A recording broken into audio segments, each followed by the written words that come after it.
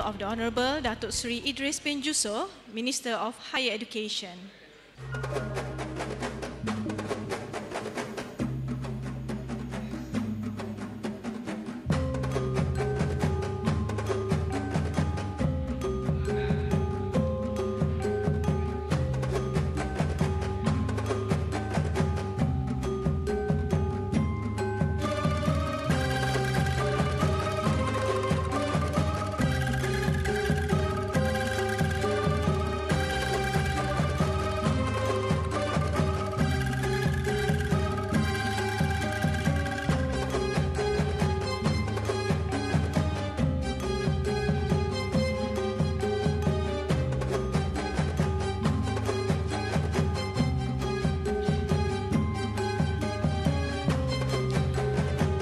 And gentlemen, may I request all of you to stand for the national anthem Negaraku.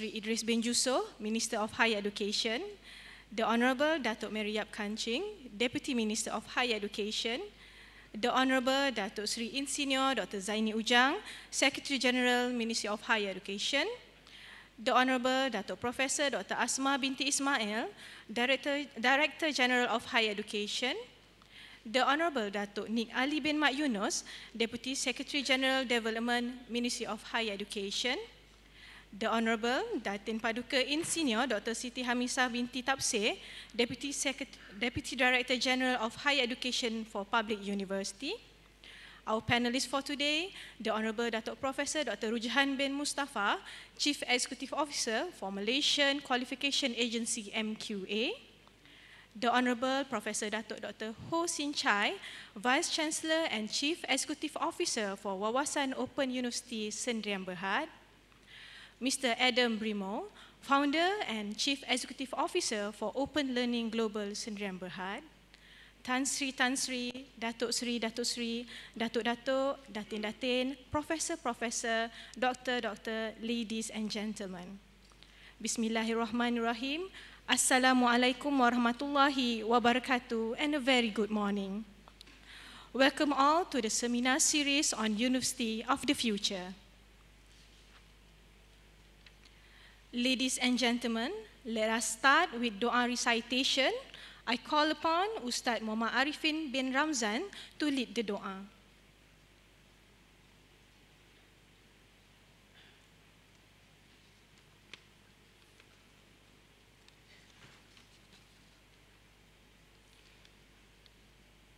أعوذ بالله من الشيطان الرجيم بسم الله الرحمن الرحيم الحمد لله رب العالمين والصلاة والسلام على رسولنا الأمين وعلى آله وأصحابه أجمعين In the name of Allah, the most gracious, most merciful, all praise is due to Almighty Allah, the cherisher and sustainer of the world. May the peace and mercy of Allah be upon His Prophet Muhammad sallallahu alaihi wasallam, his families, companions, and followers. Allahumma ya Rahman ya Rahim, Ya Allah, you are the one exalted in power, the one full of knowledge between the good and evil, between the obvious and the unseen. Protect us from calamity and danger, from disturbances and strife. Grant us our prayers, guide us to righteousness, and to the paths that you bless. Provide us with people that are sincere, trustworthy, noble, and honest, responsible in building a developed nation, building a united people in conjunction of this seminar series on University of the Future Flexible Education this morning. We forever seek your blessings towards excellence, glory, and distinction. Allahumma ya badi as-samawati wal ard wa ya zal jalal wal ikram. Ya Allah, make our gathering here a blessed one and our dispersion thereafter a guided and protected one. ربنا عليك توكلنا وإليك أنبنا وإليك المصير ربنا آتنا في الدنيا حسنة وفي الآخرة حسنة وقنا عذاب النار صلى الله على سيدنا محمد وعلى آله وصحبه وسلم والحمد لله رب العالمين Thank you, Ustaz Arifin. Ladies and gentlemen, without further ado, please welcome the Honorable Datuk Seri In Senior Dr. Zaini Ujang, Secretary General for Ministry of Higher Education as the moderator and our three panelists, the Honorable Datuk Professor Dr. Rujahan bin Mustafa, the Honorable Professor. Datuk Dr. Ho Sin Chai and Mr. Adam Brimo to the stage and to start the forum on flexible education. Please, sirs.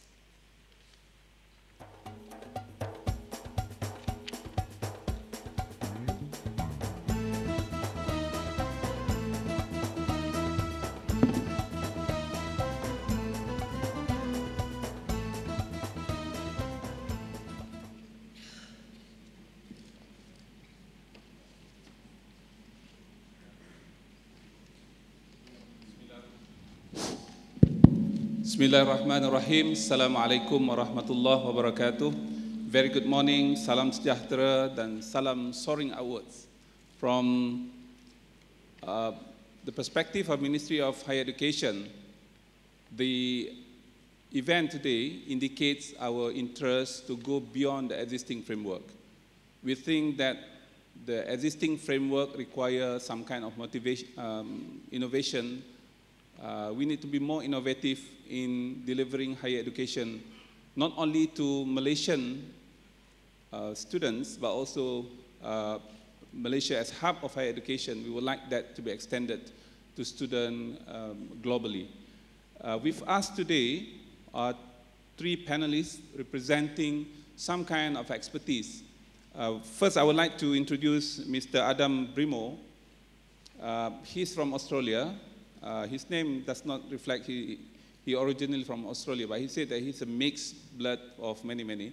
Uh, and then uh, he spent more time in Malaysia probably now. Uh, he holds Bachelor of Engineering Software and a Bachelor in, of Arts in Politics from uh, University of New South Wales. And he was very active in 2011 Choice Magazine Consumer Activist of the Year. Um, he, he, was, uh, he won that award and recipient of 2011 uh, University of New South Wales Alumni Gra Graduates um, Award. What makes him so special today with us is to talk about a new innovation he started with Professor Richard Buckland and David Collien. Um, the, soft, the platform called openlearning.com, a student-centered online learning platform. At the moment, the platform has more than 325,000 students registered, and this is what we call the first massive online courses, MOOCs, uh, which is very familiar for, for our academics in, in Malaysia and Australia at the moment. Um, he has already generated and raised more than 2.1 million Australian dollar in venture funding uh, for this operation. The second person I would like to introduce uh, is the most experienced and learned person among four of us uh, in front of you. Um, he's Professor Dato Dr. Ho Sinn Chye, uh, Vice Chancellor and CEO, CEO of Wawasan Open University. He's a member of the board of directors of the university and board director of DISTED College Penang. Uh, he was professor at University of Science Malaysia for 28 years and became professor and dean of the School of Biological Sciences. Um, and he was seconded to Ministry of Science, Technology, and Environment at the time in the year 2000. And then established the National Oceanography Directorate, Putrajaya, and he served as its founding director till 2006. Uh, we have also, uh, I mean, he was immediate past president of the Association of Open Universities for the period of 2012 and 2013. Uh, next to him is Professor Rujhan, Professor Dato Rujhan. Uh, he is CEO of MQA, and he was Director General of Higher Education. He's seconded from University, University of Malaysia, Sarawak. Am I right? And he said he's from Kelantan.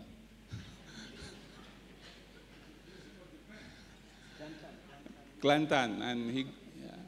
his wife is a Japanese uh, nice lady. It's very international. so Kelantan is Japanese. Good. Uh, I have some slides to show to start the discussion. Um, can we go to the slide, please? Yeah. Uh, I got a permission from minister to, to return home early last night uh, at 10.30 because I want to prepare this slide. So he said that you can prepare this slide. So I have to show to him that I made some work at home. um, we, we, we must not forget the idea of university is about education. It's about knowledge. When we talk about education, we are talking about knowledge. And I would like to quote a person.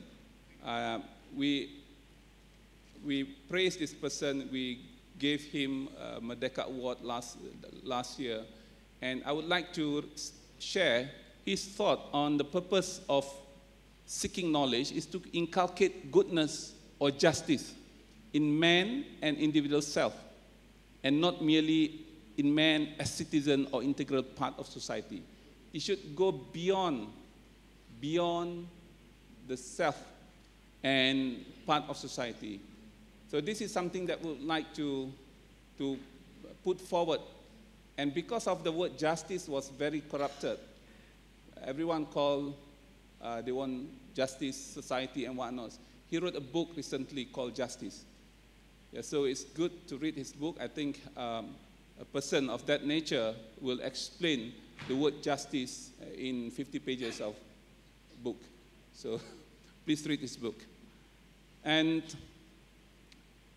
this is also important. A university is not merely the building nor entirely its physical manifestation. Certainly, in any history, the lecturers and teachers and those who learn from them are the main elements that makes a university.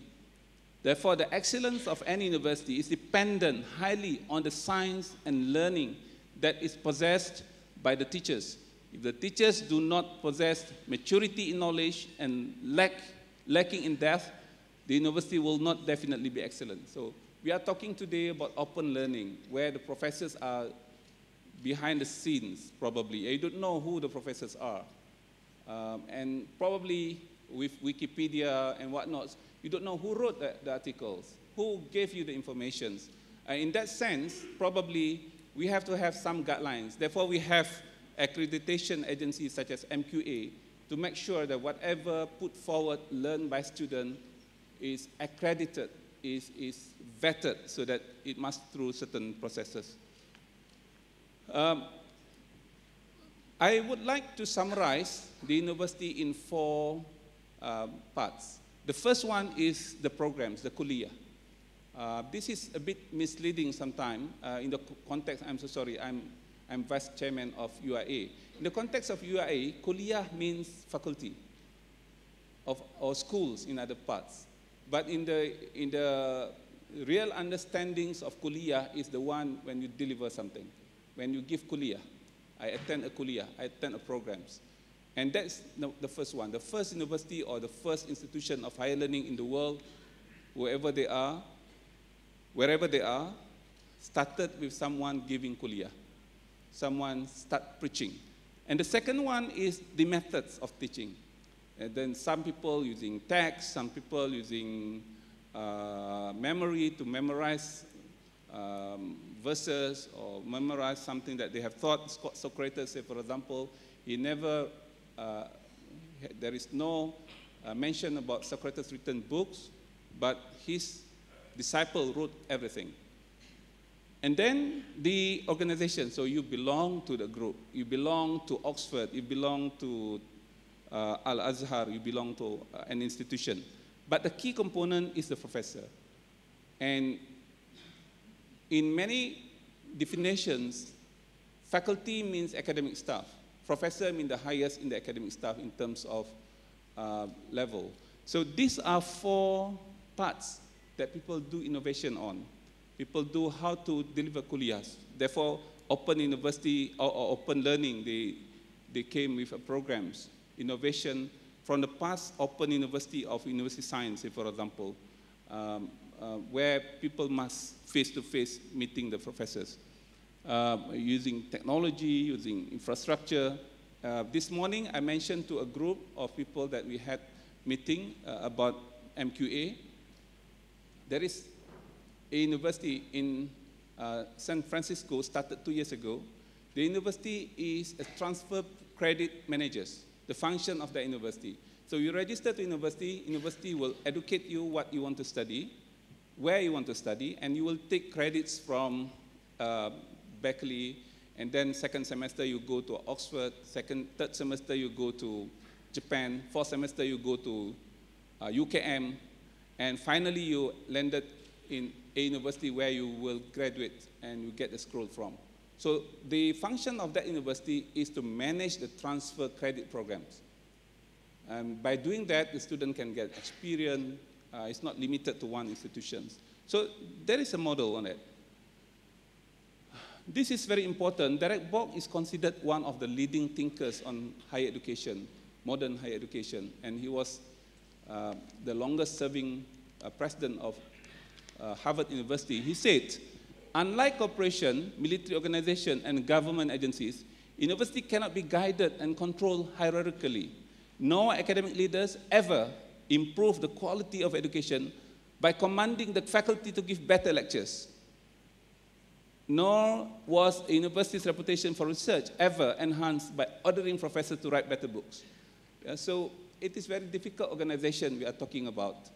And therefore today, we are looking into possibility of getting what we call uh, flexible education, whereby we get the best from the best teacher we want to learn from, from the organization we want, we want to learn from. And the uh, person that I consider very uh, uh, familiar with this is uh, Clay Christensen. He is regarded as the most prominent ma management guru at the moment from Harvard University. Um, and he wrote a book on innovative university. And for him, innovative university must be very flexible, but professors must be behind it. So again, uh, what is important later is not the material we deliver, but the whole experience. I end my presentation, oh sorry, uh, if you want materials, uh, for you who are not familiar with higher education uh, delivery, in the past, I think 20 years ago, professors hide their lecture notes. They don't share their lecture notes. If I would like to get your lecture notes, say for example, I travel to a university, can I have your lecture notes? He said, no, no, no, you take only this part. The rest is mine. Uh, probably because of two reasons. Because probably he has spent too much time on it, and then he wants to protect the IP. Second, he don't want others to uh, find mistake in his lecture notes. Yeah, so that he keep to himself and his students. But nowadays, you can get access to any lecture notes in the world. Yeah, you can get access this is lecture notes of MIT. All of them are available on the net. But to say that I've gone through lecture notes of MIT, I am an MIT student, is not. Yeah, you are not considered an MIT student after reading MIT notes or listening to professors of MIT. You must get accreditation, you must get registered to the university and then go through the process. Then you are considered completed a program at MIT. So the question is very tricky now. Let's talk about it. And before we start, uh, there is pesanan penaja. Yeah. Um, many years ago, uh, someone by the name of Zaini Ujang wrote, apart from more innovative and wider teaching approaches, the meaning and value of higher, higher learning are also of prime importance. Sometimes we miss what, why, why people are coming to university, why do they need to learn, what value we want to inculcate in them. So can value can be inculcated through open learning concepts? Can, can uh, open university deliver that? And this is why universities, say for example, in the past, they are very strict. They said the residence time for them to stay in college must be specified. In Oxford University, Cambridge University, residencies means that you are tutored under assign fellows of the universities for you to get educated. Uh, I was told by Roger Goodman, uh, he's the third person in Oxford University, he said that the tutors are responsible to make a poor student better. Uh, say, for example, the student is not good in English, it's not the responsibility of the university, but the responsibility of the tutors. So can we have that in the context of open learning? Open, I'm not talking about open learning, your platform, open learning or flexible learning, to get ethics and values delivered uh, to the students. So let's uh, listen to Adam. Adam, you have 15 minutes to talk and then we can get back to you. Yeah, would you like to say something? Yes. Hello. Okay. Uh, good morning, everyone. Um, so I'm honored to, to be here, and I'm uh, really privileged to be invited to this forum and for the uh, leadership and the guidance of the Ministry of Higher Education in open online education. Um, I just have a few things uh, I'd like to say when, looking, when thinking about the topic of flexible education and the university of the future. Um, one of the main ones is that really there are, there are two universities of the future. There's the one that we'll get if we uh, don't change anything, if we don't do anything, if we just continue uh, teaching and running universities the way we have for a long time. And then there's the university of the future that we can create together um, that is really the one we aspire to, the one that meets our hopes and dreams, the things that we'll talk about today, I'm sure. So I hope this forum can get us closer to creating the university that we all hope um, to attend and that we all hope for our children to attend as well. Um, there's a, another quote that I really love the, the quotes that you put up. Um, there's another quote that I think about a lot, um, and I thought about a lot when I graduated university as well, which is that every person sent out from the university is a person, should be a person of their time as well as a person of their nation. And really what that means is uh, and what that means to me is that when someone leaves university, they should have uh, the values and the motivations and the skills, soft skills as well as hard skills, that, that the nation requires and that the student wants to have for themselves. And they should be one who knows the latest things that are happening in the world, a student who's well informed, who's critical, who thinks, um, thinks about things in a thoughtful uh, and diligent way. So some of the things that, that I really um, think about in terms of what we're doing with open learning. And just to give you a quick background, so open learning was started about four years ago, and it was started based off of an idea that online education has historically been about content delivery. Um, people go to a, a, website and they download notes or they listen to a lecture, and that was the end of the experience. But um, as you say, you can't get a degree from MIT if you just listen to the lectures and read the notes. Something else is happening on that campus. Something else is happening on every campus. And that something else is usually the experience and the environment, the community that's being developed. So students working together to solve problems, students coming up with new ideas, thinking about new things, and really coming together, meeting new people, joining societies, having a lot of different life experiences. And that's something that had been missing from online education for so long.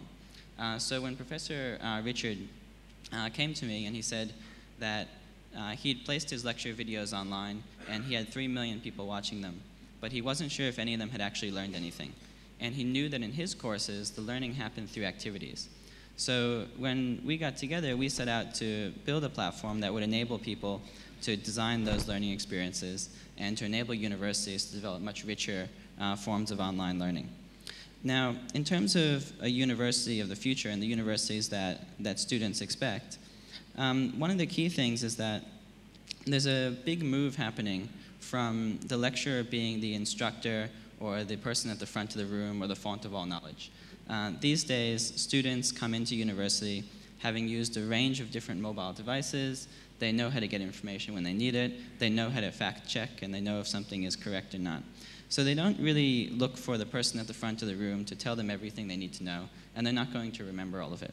What the student is looking at to get out of the university is to be transformed in some way, to learn new skills that they didn't have before, to think differently about th different situations, to improve their language and communication and presentation and teamwork and leadership and entrepreneurship skills. So there are all these sort of things the student is looking for and expecting uh, when they come to the university.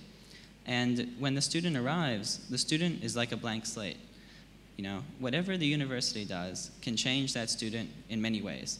They can make the student better, they can make the student worse. They can teach the student to be an entrepreneur or a leader, or they can teach them to just follow other entrepreneurs and leaders coming from other universities. So really what's, what's really exciting about a university is that students come in and they kind of, uh, they have almost not no expectations, but their expectations have been reset.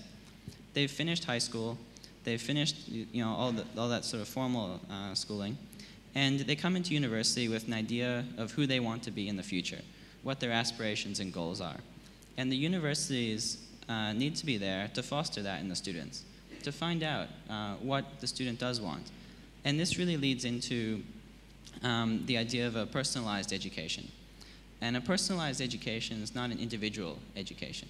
Uh, individualized education, everyone is trying to get to the same point, to memorize the same things, doing things in isolation. But a personalized learning experience, which is what um, we all aspire to, and it's one of the main um, engineering goals of the 20th century, is the ability for students to find their own motivations, their own ideas, find what inspires them, what they'd like to develop, and then have that um, developed by the education system in, in the university. Um, in addition to that, the university itself, the University of the Future, is not a bubble. It's not like an island.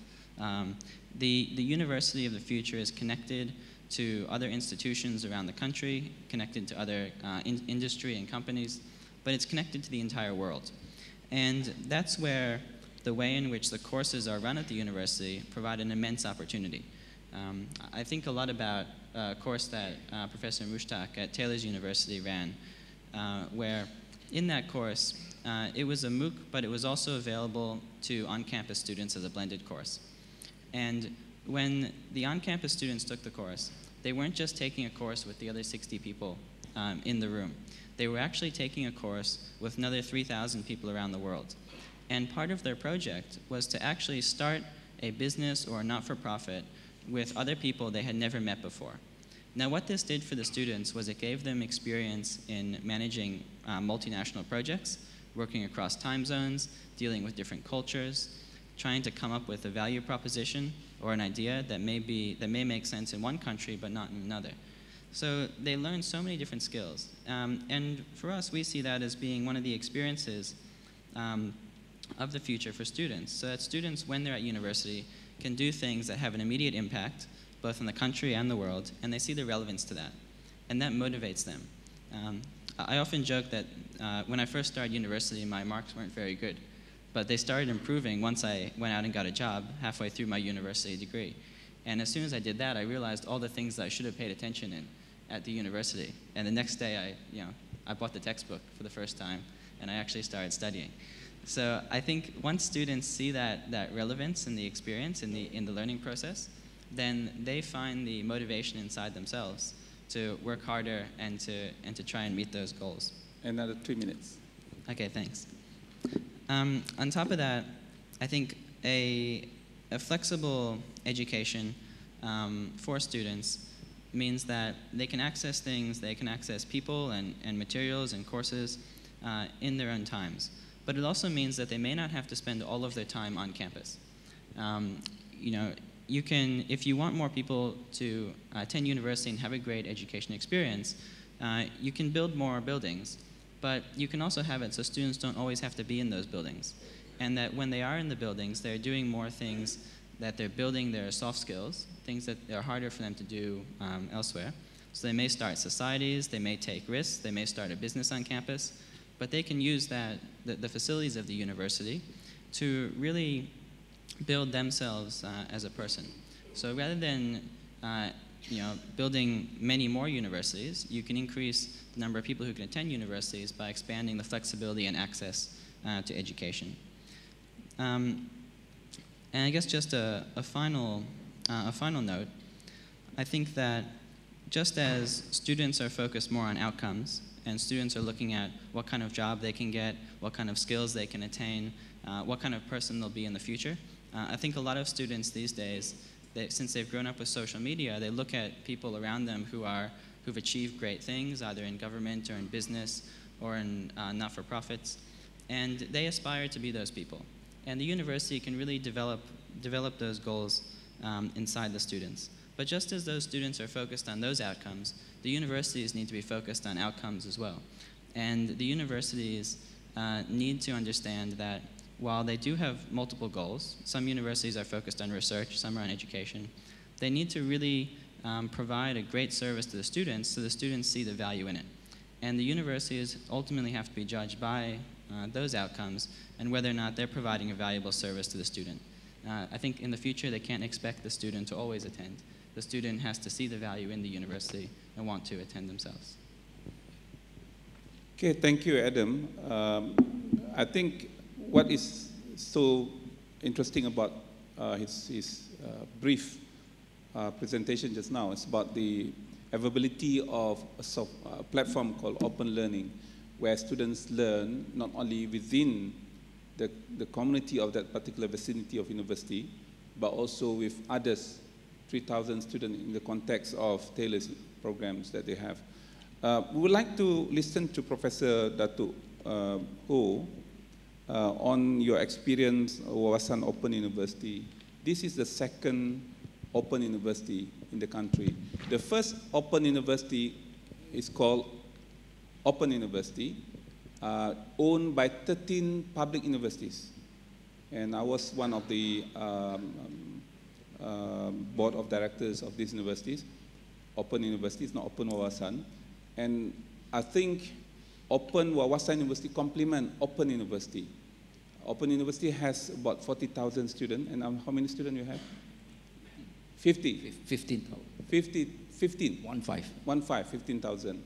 And we have uh, um, another university, E, I forgot the name, AEU University, which is third uh, open university in the country. So um, overall perspective, uh, landscape of the country, we have online open university, three, um, and then we have also brick and mortar universities, mainly the rest, and we have also um, foreign campuses in the country.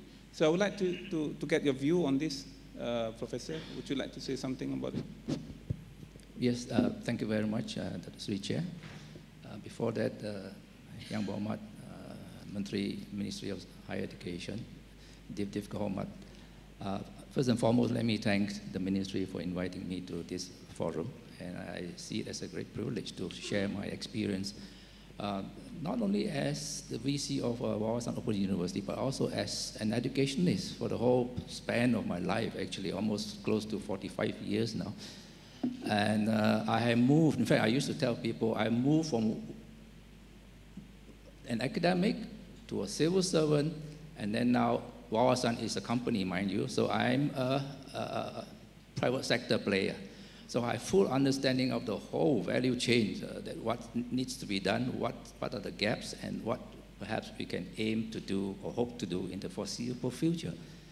Um, at the outside, and to preempt what I'm going to say now and maybe later on in the discussion, I'm going to say that whatever we do before we jump into this, this jargon, uh, flexible learning, which is so tempting, everybody is trying to jump into it, let, let, let us remind ourselves of the charter of the university. Right? I think all universities have a charter, and the ministry sees to it that that is uh, respected and observed. We do, all higher education has a road, have a role to play. So let's not forget that. Uh, that's one. Two is, to me, actually, quality comes ahead of flexibility. We can go and talk till the cows come home about how good it is, flex, uh, a flexible system that we can put in place, but without quality at the end, in fact, to me, quality is, uh, sorry, flexibility is just a means to the end. What is the end? Quality learning, quality education. And, and we have to keep reminding ourselves of that.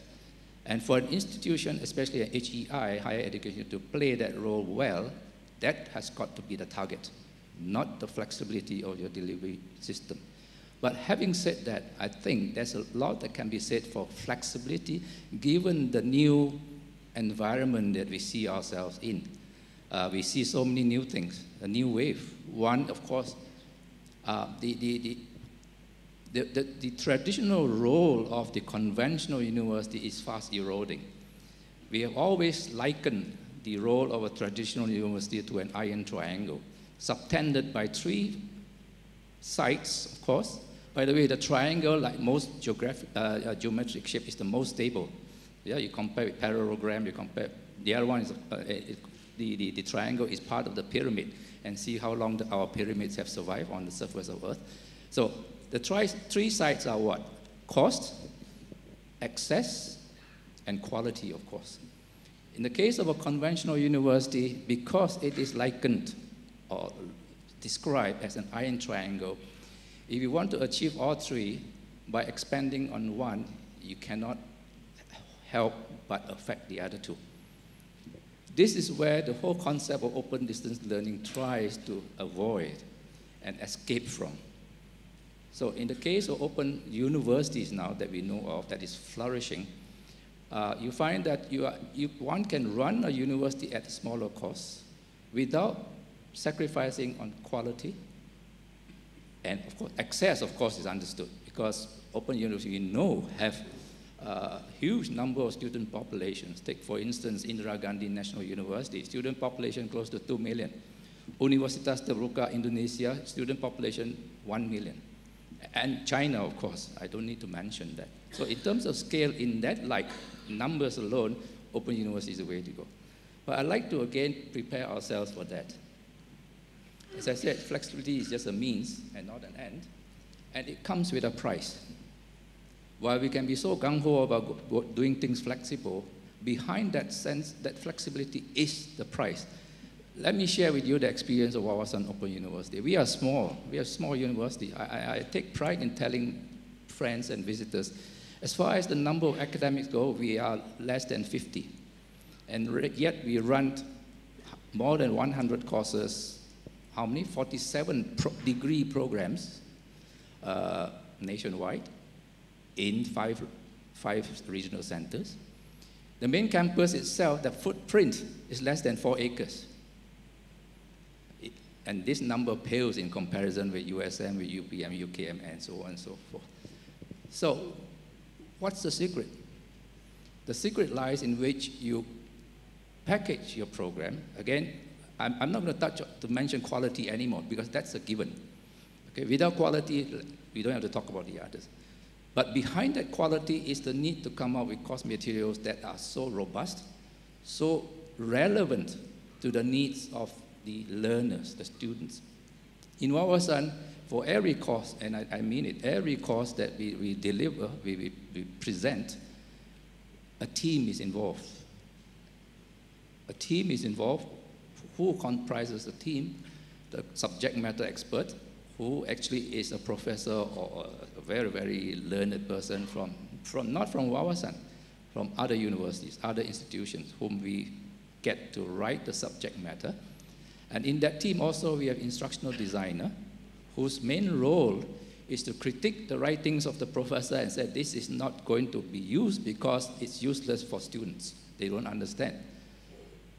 Third, the graphic designer, who will tell the professor, look, I think it's better you do use a graph instead of a table because again, I think it's more readily understood that way, or vice versa, or some other uh, advice. And of course, aside from the team, so all this while the team writes the manuscript. At the end of it, that manuscript not at the end of it, sorry, it's along the way, that manuscript, that writings is passed to another external person called, we call the external course assessor, who is also a content expert, a subject matter expert, who is from another university. And that person will look at the content and, uh, and, and, and critique. And until and unless that prof- professor signs off against a checklist that we have provided, as VC, I will not endorse, I will not approve that course to be published or, in other words, to be produced for delivering. So that's the kind of rigor we have to put in. Why do we do that? Simply because we are looking at self-directed learning. It's not like conventional university where the professor walks into a class, talks for one hour, and leaves the class. Nobody has proof of what he has said except the students.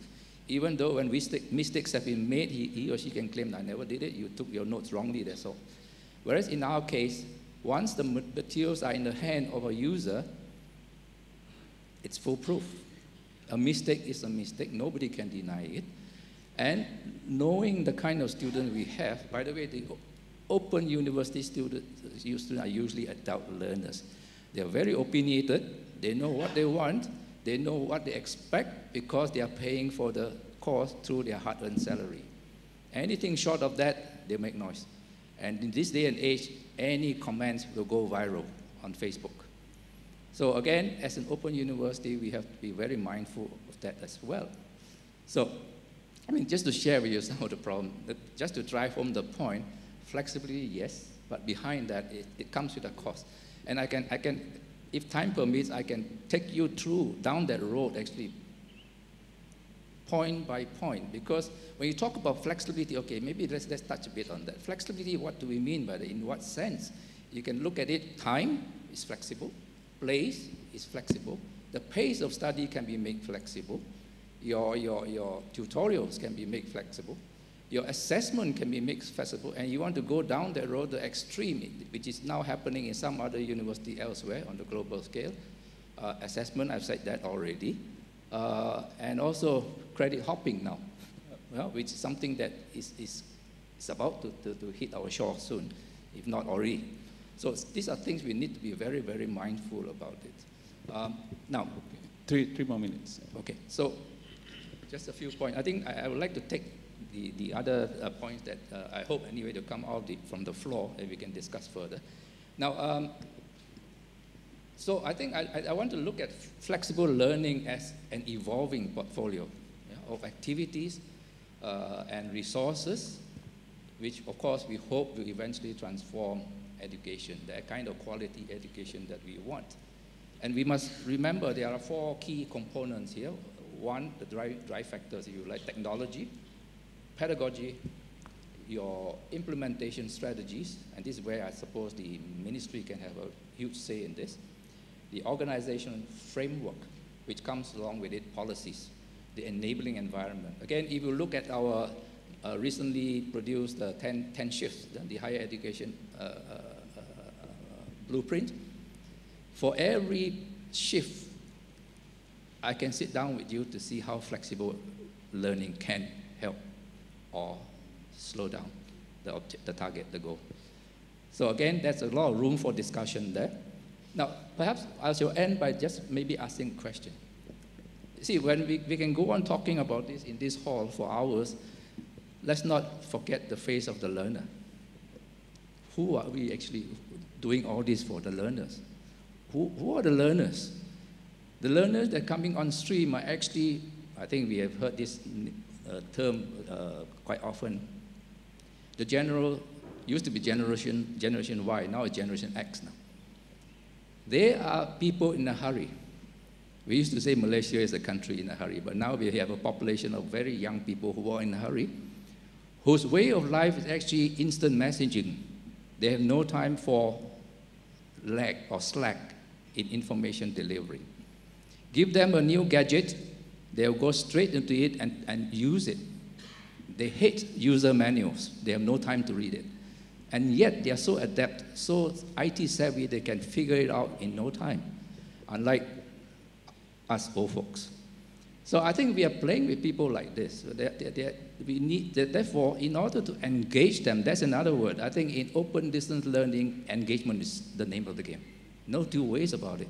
You got to engage them all the time using different strategies, different methods. Because once you lose their attention, you have lost them. Okay, so the challenge at the end of the day for any institution to come up with learning material is how well you engage them. Again, I sidestep quality, it's a given in that sense, but how well you engage them, how well you, you, you, you bring out the potential in them. That's another negative aspect of conventional system, I think. We tend to put them through conveyor belts. No, if you're engineering, okay, you go through three, four years. You're medicine, med, uh, medical field, you go through three, four, five years, and so on. At the end, you become so and so. And there are cases I'm sure you're familiar with. The students find themselves in the wrong place. This is not what I liked. Does our system allow us to, to detect and review their potential as early as possible? And this is what we are talking about. Uh, this is a new movement now growing on in some of the to me anyway, forward-looking countries and forward-looking institutions. Finland is one example, where I think we are talking about innovation-based learning, where we create the environment for students very young, even year one, you can do that already.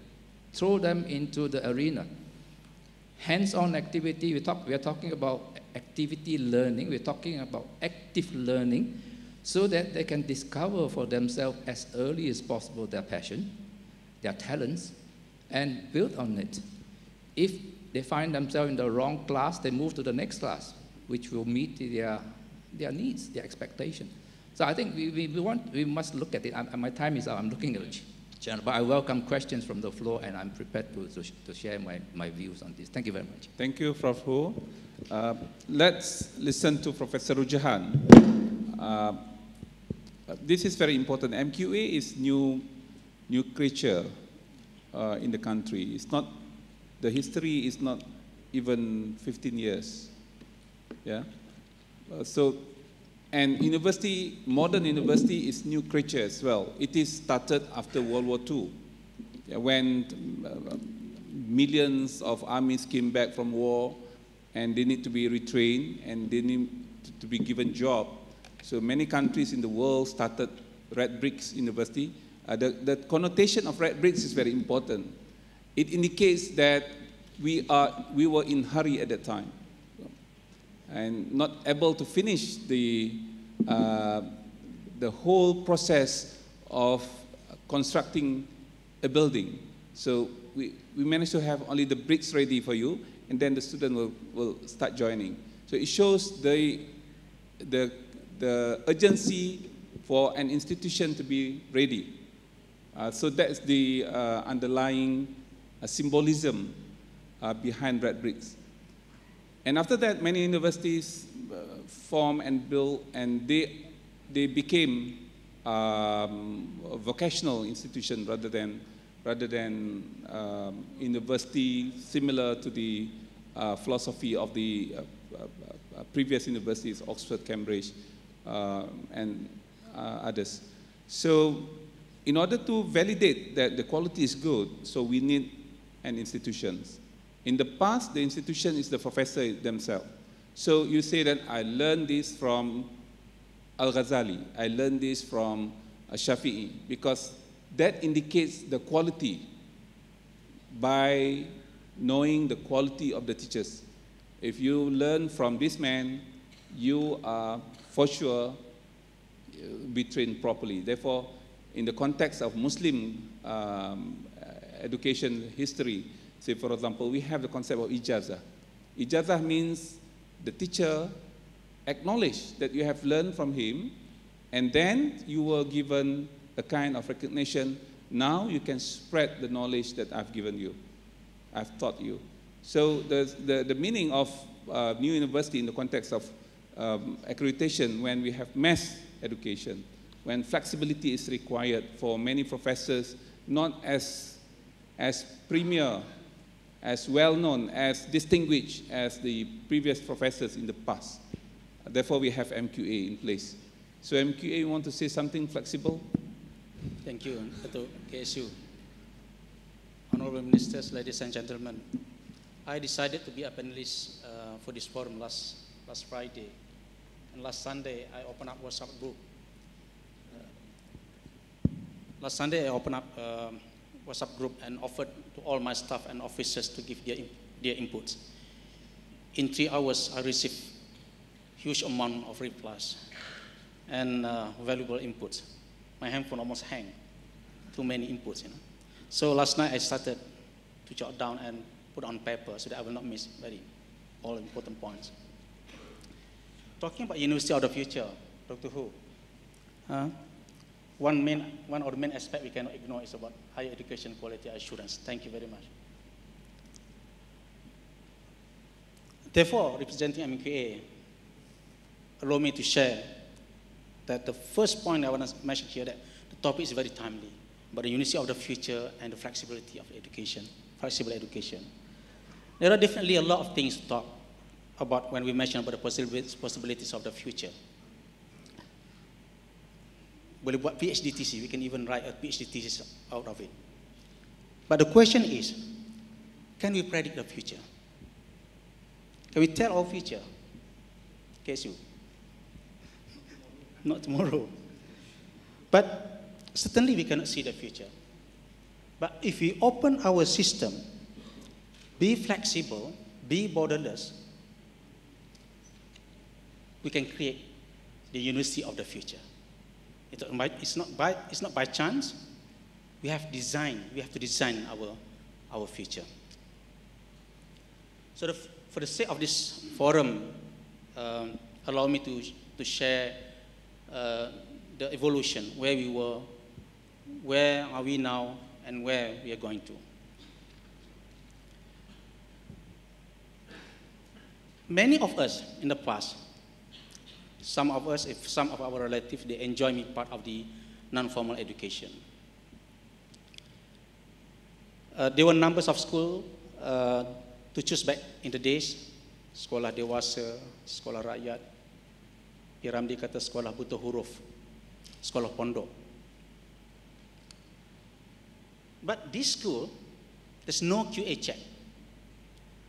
No QA check. They are unbound, but niche and personalized. People who want to read, they, they can learn how to spell.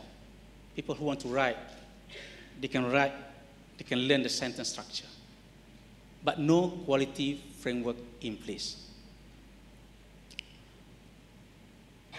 Why is there no QA then? Why? Is because education, as it was understood and applied then, to serve a very practical function, to read and to, and to write to just obtain the knowledge without thinking, without thinking and getting any grades or A's, just learning. However, there is a downside. The knowledge is very limited since they are so, it was so niche. For example, they can, they can learn how to write, they can learn how to read, but they don't know how to translate their knowledge and skill to commercialize their, their own local product, for example. No uniformity so inconsistency, inco incoherence are abound since there are no standards to abide by. Some goes to our universities in the past. There, were no, there was no proper quality assurance body to, to monitor the educational quality of our university back then. UM, UKM, UPM, USM. Was that wrong? Was that wrong?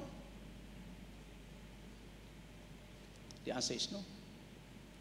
The universities and graduates were doing fine. As evidence, the learning outcome, you can see, many of us here is the products of the former university system. Now that we have now, our journey has started, and allow me to move on the next step of our journey, the present.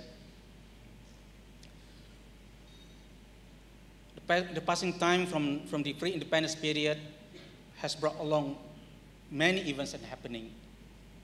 from the global arena right to our Southeast Asian region. Integration of education system, globalization, mobility, credit transfer, MOOCs. These are among the realities that we, before, relatively unknown. Unknown to our education system. So, what does it mean to our education system? How, how do they translate the way we structure our higher education system? Where are we now? The first thing that happened is the standardization of things. The non-formal education system that I mentioned to you earlier has been formalized, right from the elementary to the secondary education system, all the way to higher education system. For instance, let's look to our current universities and observe how higher education system been formalized. National Accreditation Board, LAN, was established in 1996. MQA, established in 2005 to, re to replace LAN. And then among, among others, the function of MQA are to implement MQF, Malaysian Qualification Framework, to develop standards and credits, and other relevant, relevant instruments as national references for the conferment of awards. Of course, we didn't do it alone. This is made possible by all cooperation of the stakeholders. To quality assure higher education institutions and programs, and to accredit courses that fulfill the criteria and standards. This mandate is received from the, from the government under the purview of Ministry of Higher Education. We developed COPIA, Code of Practice for institutional audit and COPPA, Code of Practice for Program Accreditation. We develop programs and program standards. We introduce good, good practices. We do, we carry out accreditation to, all, to ensure all programs comply to the, to the requirement before they hit the market. MQA continuously support the cross-border education, students exchange, student mobility, we promote credit recognition and transfer. We acknowledge recognition of prior learning and MPA do international benchmarking to make sure that we are par with, with others. However, while we are set to strictly enforce quality assurance, we know the possible downside that may exist along the course of our execution. This is the truth. We, we are seen as being too strict too rigid. MK is seen as being too rigid. Is that true? Kalau tak jawab tak apalah, mana betul, tak ada rigid lah kan.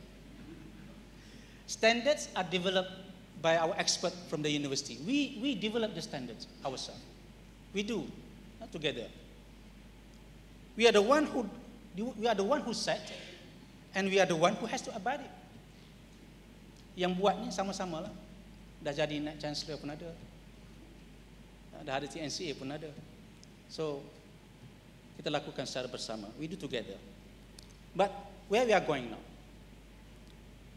what do we think what do we think our university system will look like in the 5 10 20 years from now how well prepared all of us to face this future I asked this question many, many times at MQA? They said yes. A week later, I asked again the same question. They said yes. Few months later, I asked the same question. They said yes. Very good. But, my, but the problem is, my question is how? Not yes or no. Okay. Three, three more minutes. My answer to this question is MQA is ever ready to, take the, to face the challenges, to together characterize Malaysians, the university of the future. This is our bold aspiration. So what is the next passage, ladies and, and, ladies and gentlemen? What is the next passage for the university of the future? We must accommodate the students' need. The approach will be student-centric. The lectures, lecture-centric is history, the student will be able to study anywhere, anytime. No more physical limitation. classroom, lecture halls, education on the go. We, allow, we will allow the university to diversify their learning, their, their, their learning styles from the classroom to the work, working place, from the university to the industry. We, we introduce 2u2i, work-based learning. We also promoting um, another, another open, open learning kind of studies. And then we, we are in the planning. We are planning to, to introduce the, what is what we call gamification, gamification of education. Dulu orang marah kalau kata belajar main-main. But now we, we will encourage belajar main-main. You learn while you're playing.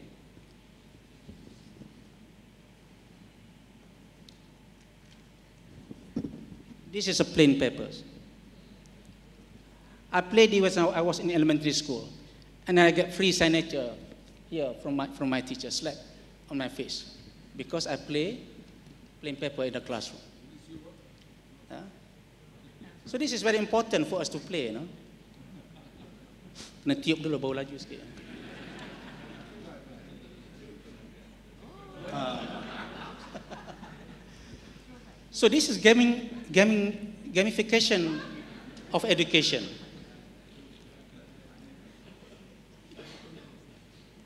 The, the paper plane actually is the principle of aerodynamics. Yeah? Student will learn about aerodynamics, how far the plane can, how the, the paper plane can fly. There's no oil, no engine, but it still can fly. In this era of ICT, we cannot forget about the leveraging on the ICT.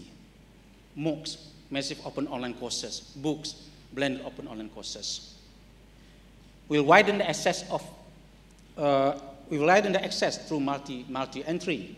We encourage the uh, multi-exit through, the, through development of customized approach like uh, uh, sandwich, sandwich program, dual degree, etc.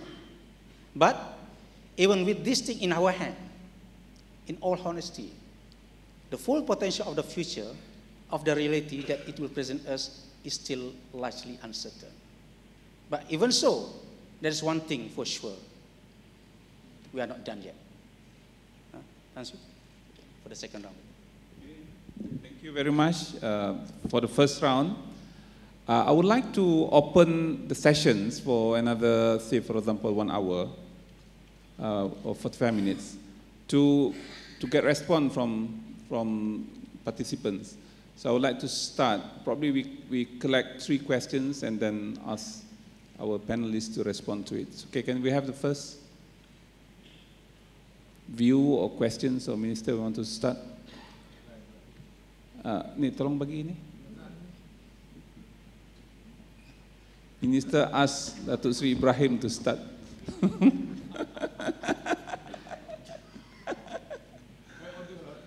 ada, ada. Yeah. Okay, thank you. Atas arahan. Eh. first, uh, first and foremost, uh, when you talk about uh, the future, actually nobody knows the future, how it looks like, or what it is all about. Even in education, they call brave new world. The beginning of the 20th century, but you know, it doesn't come out as it think. First and foremost, I think the university is an institution in the society it's just like a family, just like a, like a, religion, mosque, and so on. It's an institution like schools, institution, and family. So you can't run away from the society. It cannot be, it cannot be otherwise because then it becomes irrelevant. So whatever it is, just the, the university has to change or have to do what is relevant to the society. Now, if we are going to do relevant to society, we must know how the society is. Okay? Uh, so if he, if you want to do is very flexible or whatever it is, just that is just methodology, okay? But what is the future is? If you know what the future is, then university will mold according to the future. Now, if you don't know the future, then how are you going to mold the, society, the, the, the, the, university Secondly, I was, uh, you know, when I was uh, uh, in the university, I was thinking the university is a very uh, dynamic institution, dynamic institution in the sense that uh, it brings changes.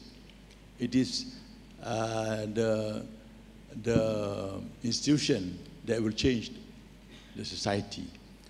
Uh, but uh, then if you change the society, then it's another way we look at the, at the future. The university changes the future. Even now, what we are doing now, for example, we don't, we don't know, uh, we don't know the future. So the university now is very, uh, you know, doing a curriculum with the industry, this and that, because usually we don't know the future. Now the future, this is the future. That's what it needs. So these are things that we have to look into in, in, the, in the future. So when we think of changing the second way, the first one is look what is the future is. The second one, the university might change the future, okay, and bring changes in the future. What transformation is trying to do. That's the second way of looking at the future. So in, the, in this sense, I think uh, when you talk about the university in the future, then the university cannot, you know, be otherwise. It cannot be otherwise from the society. We must know how the society is, or we can predict what the society is, then plan for the, for the future. Otherwise, we will do what we are doing now, and then hoping what the future looks like, then we change according, accordingly. Okay? Uh, so University of the Future, actually, we are looking at mostly methodology, mostly uh, uh, knowledge, and so on. But are we sure that knowledge we, we, we, we are bringing is relevant also to the future? I think we cannot also predict that. Okay, for example, uh, as a political scientist, you know, when the, when uh, when society moves from from from agrarian up to up to up to sometimes it goes, you know, finally it goes socialist and then for democratic socialist and then become communist. Okay, so they have a lot of books and knowledge, body of knowledge on that. Suddenly, when gas Glasnost came, the communist country want to revert back to laissez-faire. Actually, there's not much knowledge left. So there, everybody was groping about how to become a dem democratic society, how to become laissez-faire economy. So there comes, uh, you know, there comes a Russian type of, uh, of uh, what do you call that, system. Because they're not looking at the book, they don't have the book, they don't have the body knowledge. So that's why sometimes not necessary that uh, what we are learning also have already uh, what's going to happen. Right? So again, I said, uh, thank you very much to the minister. Uh, thank, thank yang you, Mengikut, yang mengikut Sri, arahan. Dato' Ibrahim. Yeah. Dato' Sri Ibrahim is chairman of uh, Lembaga Pengarah University UKM. Yeah, so he's my chairman today. So second, uh, views or questions? Ini tak pergi ke arah ni. Okay, thank you. Yes, at the back. Ramjit.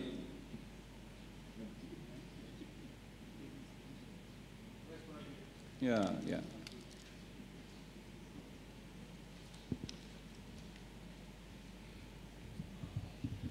First of all, uh, thank you so much for putting this session together.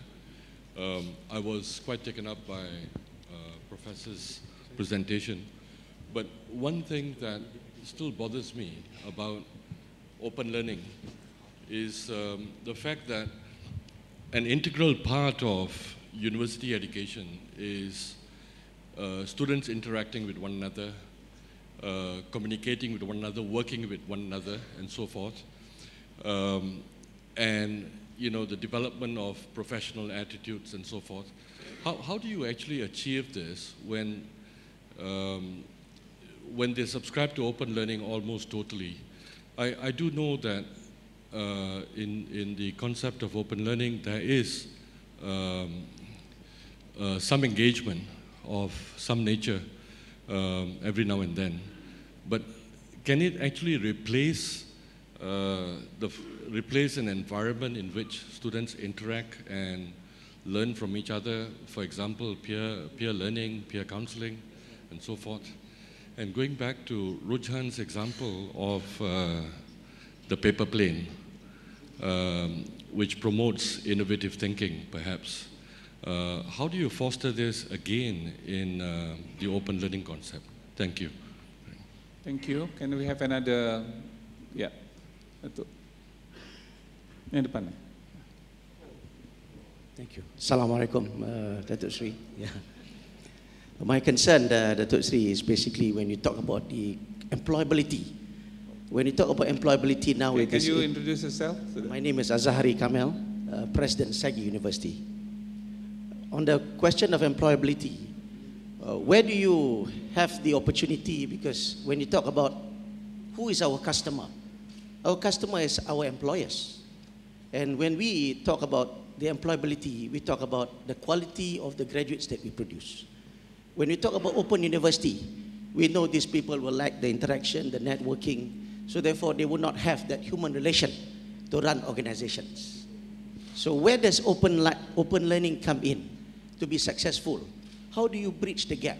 Because as employers, we would like to recruit humans and not robots. Thank you. Okay, uh, this first round, can I get your uh, response first, um, Adam? Uh, let Adam. Okay. Okay. Um, would you like me to respond to each one in The turn? second one. Only the second one. Second one is on uh, Okay. open learning, interacting with one another. So uh, that's a wonderful point, and um, I think there's a few key things. One is that um, just because we talk about online learning doesn't mean everything happens online. Um, on, the online component enables offline experiences, and a very good, uh, a well-developed online course has opportunities inside the course for engagement, uh, peer learning, uh, peer activities, uh, crowdsourcing, discovery uh, inside the online component, but it also enables students to do it outside the course um, and to, you know, to go out into society and to start a business or a project and then report and reflect on their experience in the online community. Um, a good example of this that we often like to use is if you think about a, in, um, you might do a project where you build like a diorama. Like you want to build something to show, uh, to represent something else. You might, you know, build a diorama of a, a galaxy. You might have, um, you know, uh, planets and moons and stars and everything. Now, you might build that um, in person, you know, out of, you know, wood and popsicle sticks and styrofoam. But you could also build a simulator online where people can put together a virtual diorama. And if you think about it, it would be so much work to build a virtual diorama simulator with almost no benefit to the student. The best thing to do would be to enable the student to do that in person, take a picture of it, take a video of them doing it, and reflect on their experience online. So the goal of um, this uh, style of education is not to say everything is done online. It's to design the online course so that it enables the student and guides the student to do things in person, whether that in-person experience is on campus, at a coffee shop, in the community, in society, in their workplace. Um, so that, that's really what we're looking at here. I think there is a challenge though, and the challenge is in making sure that students who take a course entirely online don't have a lesser experience than those who attend a university. Uh, How, how we uh, cope with the, the, the demand by the students day and night. My colleagues from university are questioning us, are you allowing that to happen and we don't have other things to do, you know? If you allow 3,000 foreign students um, from Africa, from Latin America, their morning time is our night and then asking for questions and whatnot, so we don't have much time to do other things. Yes, that's right. So this is where a change in the dynamic uh, or the role of the teacher comes in. So the teacher is no longer the center of attention. Uh, in the traditional style, you'd have a class of only 20 students because every student need to ask the teacher or the tutor questions. Um, in the new style, the students are asking each other questions and helping each other, and the teacher is more of a facilitator or a guide or a mentor. So in that uh, situation, the students are learning a lot from each other, they're helping each other, and it really comes down to how you design the course experience. Um, so if you design the course so that students are actually doing peer-to-peer activities, that they're doing projects with other students and getting feedback from other students, then the teacher is almost like a facilitator, a mentor, uh, an observer, um, but they don't have to be in there all the time. Uh, in fact, one of the things that uh, we often recommend is for the teacher to take a step back and not feel like they have to respond to students, and you'll find the students will respond to each other. So it is a, it is a change in the, in the role. It's a change in the design of the course. And that's where um, like the instructional design, graphic design, all of the teams um, that we talked about here uh, really come into designing uh, that new learning experience. Okay. Uh, Professor Ho, would you like to respond to the, um, the employability issues and probably the future, how to change the future as mentioned by Datuk, Datuk Ibrahim Saad? Thank you very much, Chair. Let me start by addressing the, the question on the future. I agree with you, the future is unknown. I mean, I have to look, gaze into the crystal ball in order to even try to see it.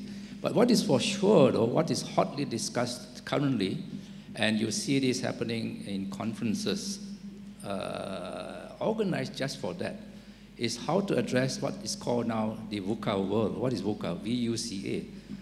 Vulnerability, uncertain, complex, and ambiguous. And this is hitting the business world very, very hard. And likewise, it's got, I think if you stretch that a bit, it's going to hit us as well, the education sector. But what do we do? Do we sit down and say, okay, let, let that continue to be so? Instead, I would rather look at writings on the wall. What, uh, what are those writings? What is for sure? I already mentioned the general X that is for real, they are there. Um, how do we come up with educational programs that will actually engage them fully uh, and bring out their best. I already said that earlier on, so I won't dwell too much into it. Um, the, the, the challenge is for us to really do the best we can.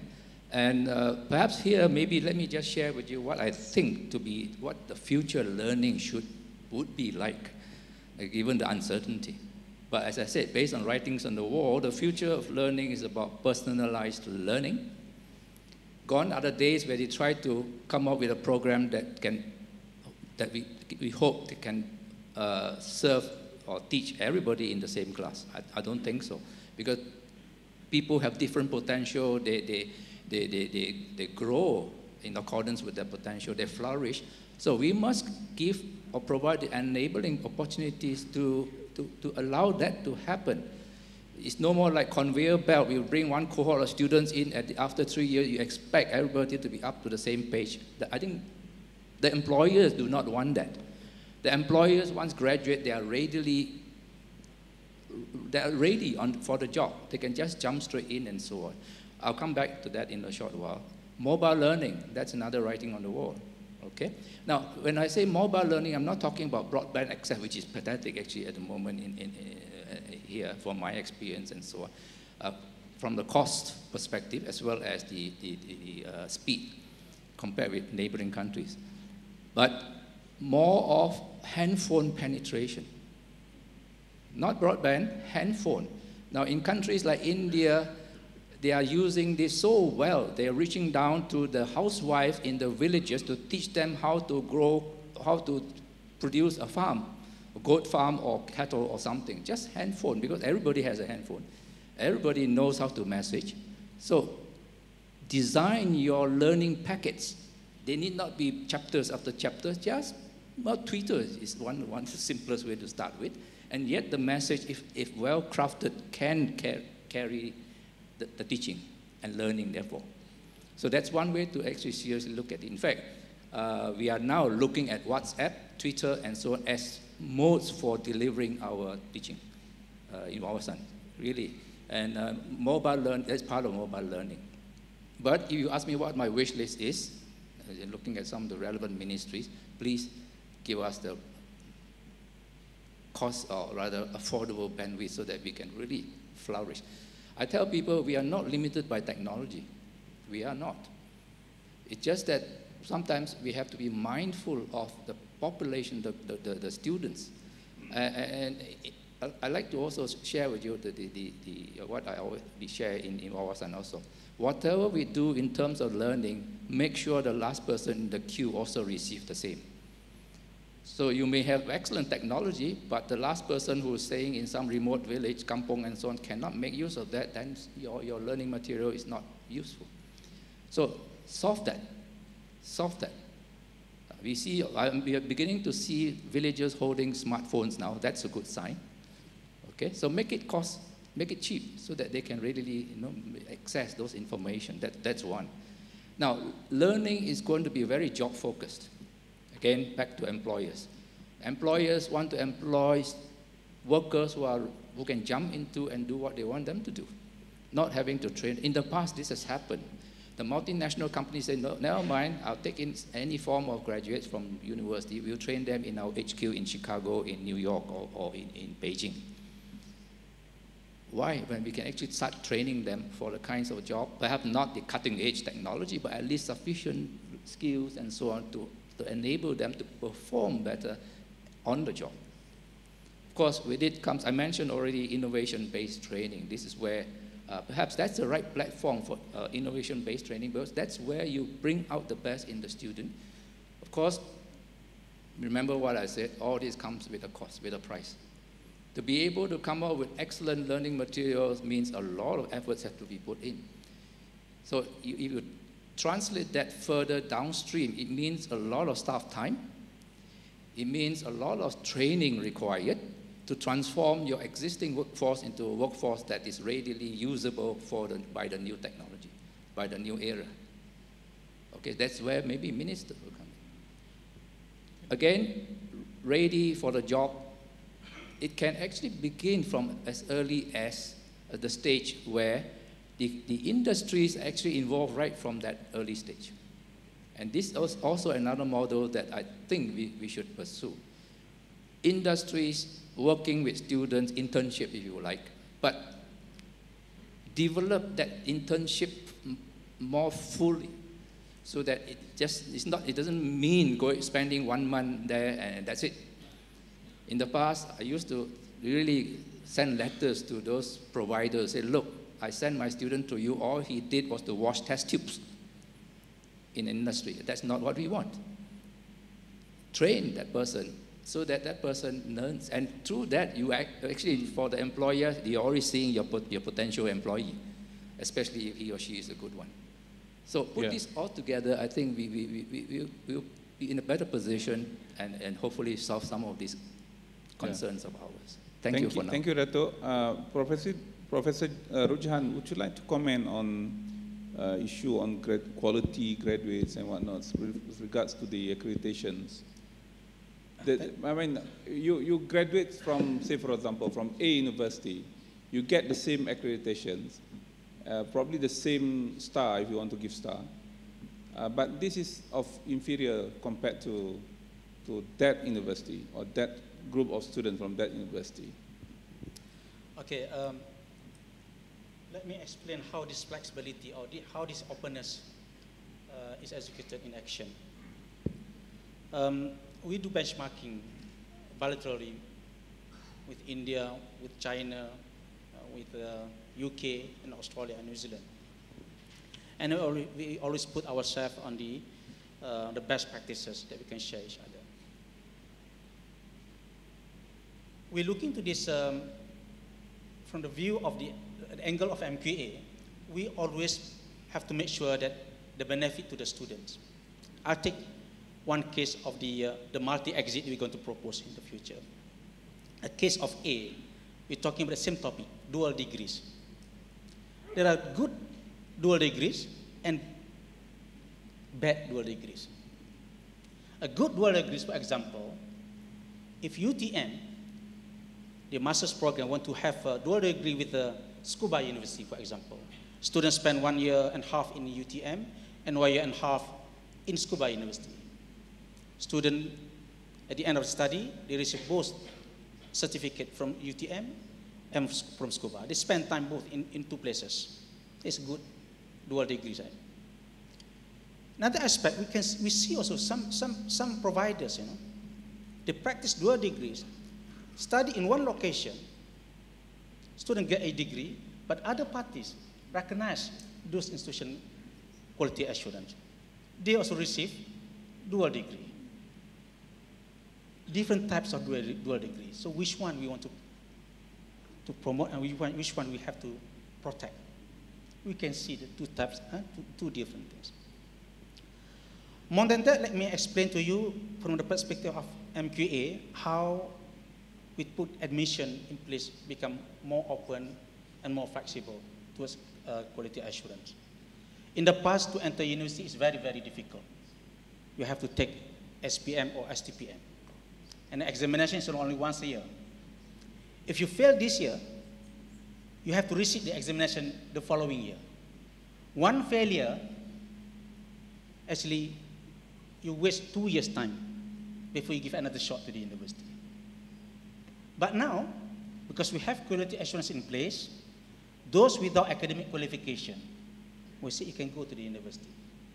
We introduce APEL, Accreditation of Prior Experiential Learning. APEL, APEL. APEL. Those without academic qualification, they can go to the university. And then now, we are working with the uh, MOOCs committee at MQA, with some experts in the universities. We, we're going to introduce, this year what we call version 2 of APEL. APEL version 2, we call APEL C. C is for the credit transfer. What we're going to do here is that any students who obtain credits from other places and, or who obtain the experience eh, can go to the university. I take one example. We have the thousand of opticians in the market. They don't have academic qualification, but they have been in the industry for more than 25 years. So we are working with the op optical uh, council to enable them to go to the university. So we're going to try to convert their, their, their experience into credits and they can complete their study in the university, maybe bachelor in the opto optometry. So the quality assurance is taking place. So make sure everything, you know, working experience, and your hobby are account, accounted for the APEL version 2. And then we're going to announce one. Uh, Adam Brimo is one of the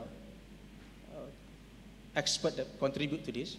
When we convert APEL version 2 plus MOOCs, uh, we got to call after this, no more call massive, but we want to call Malaysian Open Online Courses Credit Transfer. Why MOOCs failed many times before? Because there's no credit transfer.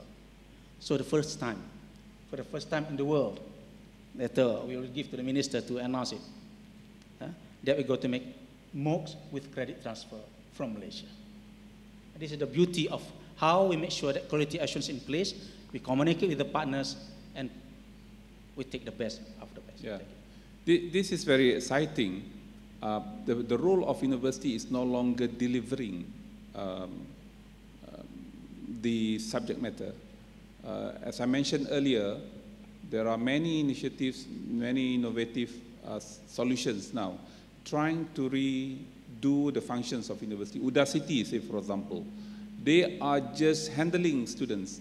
They are like Uber, no taxi, but they are the biggest taxi provider in the world. So there is another university called Udacity.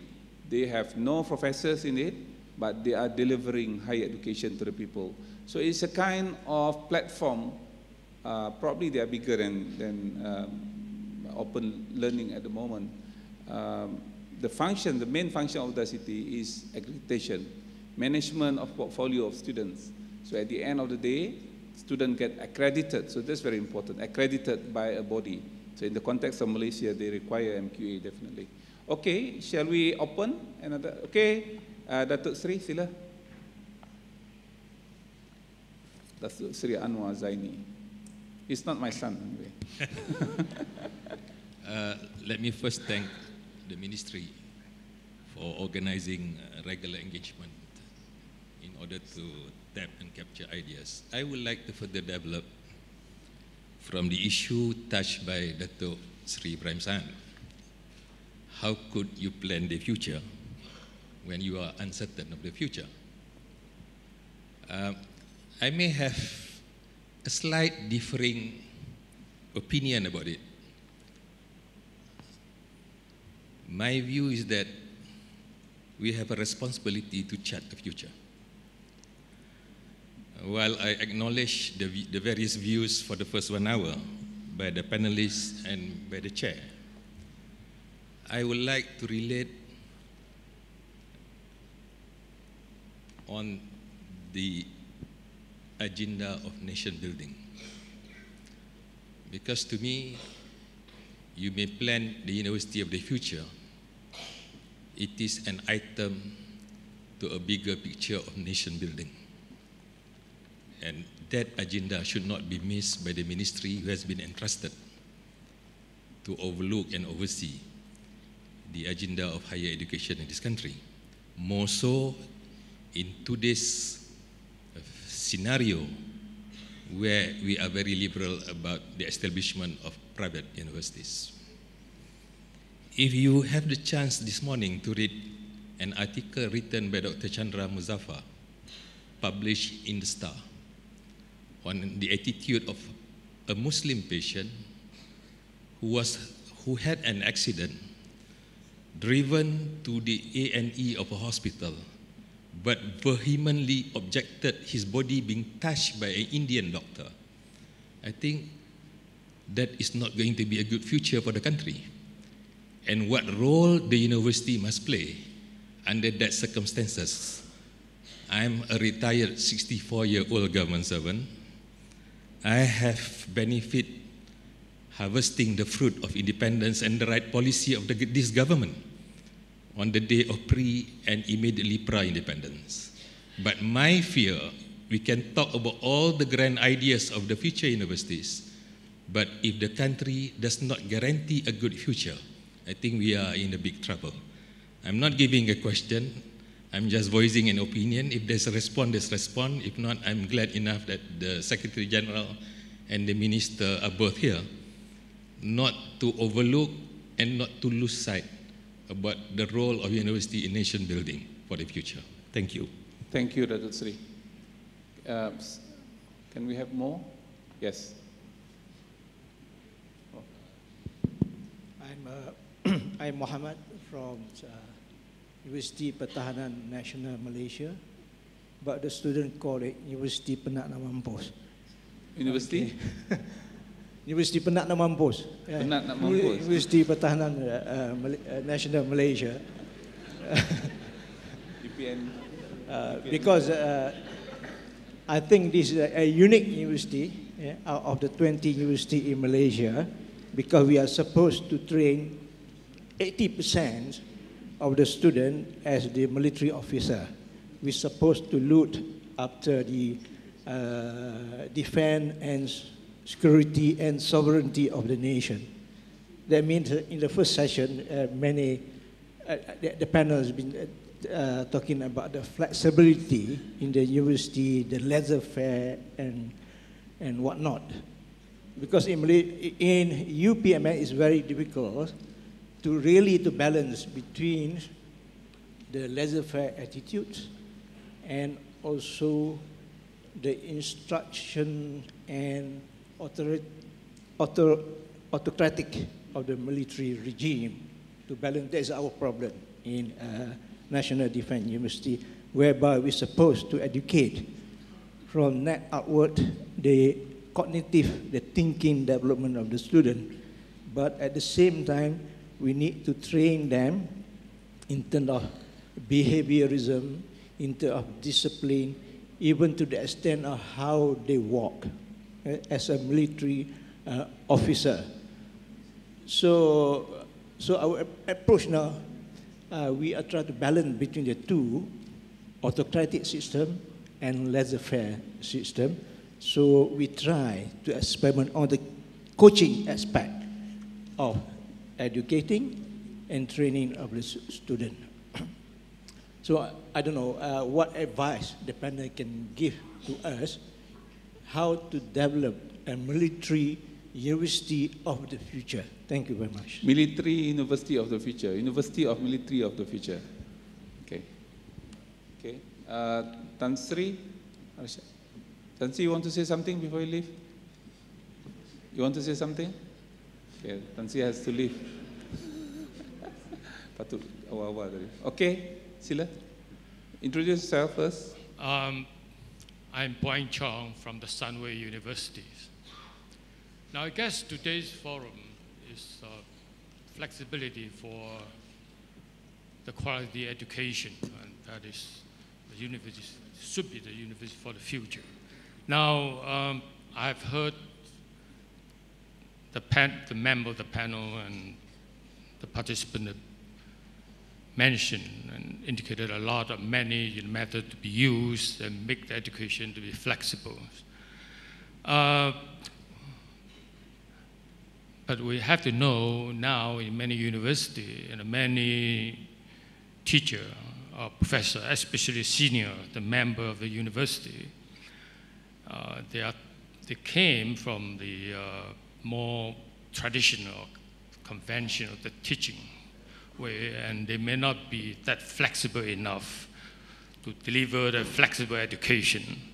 Here, I believe the ministry may have a role to play, you know, and I think many academic academy members need to be trained to become flexible. This is a comment I make. Now, uh, we talk about the flexible education. We should also emphasize the quality. Now, some members of the panel have talked about the quality. However, no, defi no definition has been given. Now, what do you mean by quality education? Uh, I was saying that, you know, we, um, the ministry emphasized a lot on employability. If a student graduated and get a job, it is a quality education. Now, get to link up closely between the university and industry is one way to do it. To keep abreast of the field is important of the knowledge. Is that enough? In my view, I think, you know, the, uh, how about the social value?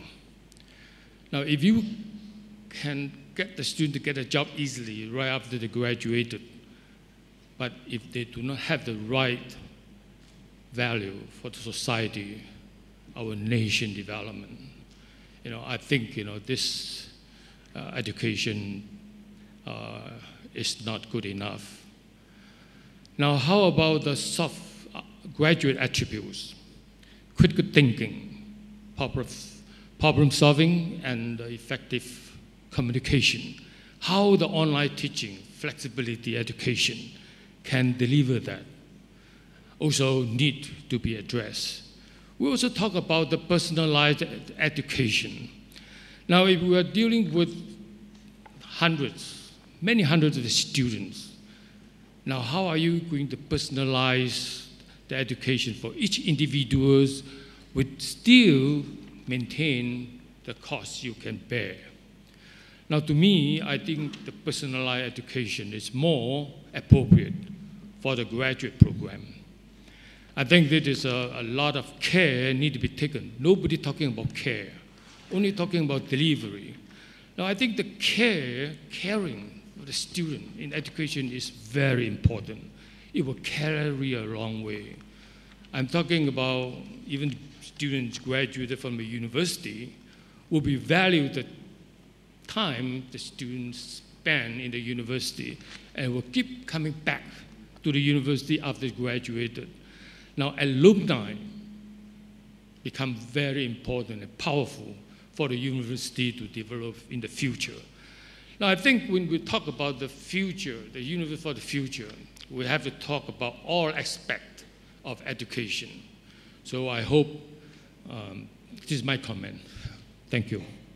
Uh, thank you, Prof. Um, we have three questions. Uh, this is more broad than before. Uh, before I allow panel to, to respond to it. Um, in 1997, there was a proposal by the state of Kedah to the Minister of Education to set up Langkawi University of Tomorrow. So I was desk officer at that time, so we were wondering, and we, when the then um, um, Menteri Besar of, of Kedah made presentation, he made presentation himself. So my question that I put forward to the minister, uh, then Minister of uh, Education, to ask is the meaning of to, uh, tomorrow. Why tomorrow? We, we are not limited by tomorrow. We said that tomorrow means future. And in order to predict, the easiest way to predict is to predict tomorrow. So you keep on predicting tomorrow what's going to happen, because that's the easiest way for you to get some kind of accuracy. So, but today we are talking about the future. It's not tomorrow. Uh, Adam, would you like to comment on, on this? Uh, there are some questions uh, related to your, uh, say for example, soft skill, how you want to deliver soft skill. Yeah, sure. Um, so yeah, there, there are a few questions there. Um, in relation to the uh, question around soft skills and critical thinking, sort of the, the timeless skills, I think it was called, um, th those are very important. And um, I, I agree with a lot of the essence of the comment as well that um, employability is important, but a job isn't the only outcome of a university. Uh, the university is there to produce. Uh, Can you repeat that again? I would like that to be repeated and then to make known to everyone. Okay, so employability isn't the only outcome of university. Um, the, the universities have a responsibility to society to produce the next generation of society, of, you know, um, sort of the ethical doctors, um, politicians, government, accountants, uh, engineers. So universities have many, many responsibilities. And sometimes uh, industry doesn't always know what it wants, or it wants things that are somewhat short term. Uh, and, and, we see this quite a bit um, in Australia and, US and other places, where um, industry will come in saying they want a particular skill, and a university will start providing courses in that skill. Um, and by the time those students graduate, the skill has changed, and then the students are stuck. So um, the, one of the things that we look at as an employer as well is the ability for students um, to teach themselves, to think critically, to problem solve. And those, those things are timeless. Um, and an example uh, in, in my background in software engineering, in software engineering, there are institutions that will teach you how to learn a particular programming language. But there are many programming languages out there, and you don't know which one's going to be popular three years from now. So you can either teach someone how to learn, a, like you teach someone a particular program, programming language, and you know they can get a job in that area, and they'll get a job for a few years, and then over time, you know maybe they can't find work because the skill has moved on. Or you teach someone to be a computer scientist or a software engineer, and then they can teach themselves different languages. So a lot of engineers that, that I know and that we work with, um, we don't even check if they, well we check, but we don't even care too much if they've programmed in the language that we're using. If they're a great engineer, they can learn the language very quickly. Um, and I know from our experience that, you know, you, you may know like half a dozen or 10 or 20 languages. It's just, you can learn a language on the weekend like that. So because of that, I think the university, as you say, has this responsibility to create graduates that are adaptable that think critically, that problem solve. And that's what industry ultimately wants anyway. Um, it's just sometimes they just say they want a particular um, discrete skill. Um, and, and it's also important that the students graduating have the right uh, soft skills and the right ethics and morals uh, when they leave university. Because uh, that's ultimately what, what you want. Um, people who leave university with, with the right uh, background and views. Um, another, another part of the question was around um, teaching those skills online. And that can be done um, by designing the course experience so that it's more engaging, that it relies more on social interaction and, and peer activity, um, so it relies on activity-based learning. Uh, so, so, most online learning is still videos and quizzes, but that's not how you that's not how people learn higher order thinking skills. Uh, people can only learn higher order thinking skills by doing activities uh, with other people where they're discovering things, reflecting on experiences, uh, working out problems for themselves, coming up with problems in their own life. And a lot of that comes back to the sort of uh, instructional design that you would do at, at the Open University. So there's, there's a lot involved in it. It can be done online, but it requires a change in the teachers, as the other um, commenter said, that a lot of the teachers have come in teaching the way they were taught. Um, but there's actually two levels beyond that there's a lot of people, a lot of teachers just teach the way they were taught, and the students get the same experience that they got 20 or 30 years ago. The next level is teaching the students the way you wish you were taught. So, you know, you thought, you know, when I was at school, it was very boring. I wish we threw more paper planes. And then you would, you would have different sort of activities. But the third level um, that my uh, co-founder, Richard Buckland, talks about a lot is teaching the course the way you know the students want to be taught. And that's, I think, where we are today. The students coming in have different expectations, they have different experiences, they expect things to be fast and mobile and communicate very easily. Um, they expect to learn very quickly. And it's up to the teacher to design the experience that provides that. Um, and I think there was one last one as well um, about personalized education. So, so, personalized doesn't mean of individualized. Uh, it means the student finds the motivation in themselves. They find out, you know, why, they understand why they're doing something, what their goal is, and they align everything to that. So they have a personal experience, but they can have that with thousands of other people. Um, so I think those are probably the main, uh, the main points for me. Do you have any idea how to make military more military training more, more futuristic? I don't think I'm qualified. More personalized. I don't know that I'm qualified for it. Okay. Yeah. Prof? Well, first of all, neither do I. but speaking as a layman, I think, no, I draw an analogy flight simulation. And I'm talking about virtual reality now, which is going to be featured more, much more in the, in the future. Because that itself is seen as an excellent platform for training. And I say that in relation to gamification, which is the whole science of games, playing, because that brings out the person, the strategies, the skills, the understanding, the physics behind trajectories, and so on. So it that itself is an arena for learning. So I'll stop there because I say I'm not an expert. I, I can't help you win wars in that sense. Um, but okay, quality. I think for as, as long as far as if we continue to think quality is something that is holistic, that solves all, I think we'll never find a solution. Rather, let's define quality in a specific way. To me, I think I made it simpler so that people can understand and maybe implement. Quality to me means fitness for purpose. Depends on what your purpose is. If you want something, somebody to do that, to deliver well, well, if the person has all the skills and whatever to do it well, I think you have got quality. And we often say, oh, that university is, is quality university for what? Not as a university, for law, for engineering, for medicine. I think if as a university you want to be a know all, I mean, do all, do all, I don't think we have that institution. Certainly not. I don't know how far you, ex- because at the same time, the other side of the coin, it helps you to plan better. Say, my, my quality aim is this, and that is has a different set of quality definition. As long as at the end of the day, the faculties achieve that, you have done your job excellent. Fine. Okay, that's one thing. Uh, don't you think the, um, the instruments now measuring quality is measure, mainly measuring the professors, measuring the group of academics rather than the outcome of, of uh, student in terms of quality? Yeah, I think the rest will, will fall in if you look at the, the deliverable, the out there, the output, what if let's say something of quality comes out at the end of the day, then you step back and say, who was responsible for it? What was the platform? You know, how, how did they do it, and so on. What were the questions asked on day one, for example? That itself is also very important. You have to ask the right questions before you can get the right answers. If you keep asking the wrong questions, you'll never get the answers that you want. So let's be very mindful of that also. So, so at square one, you've got to start thinking already. What is it that you want?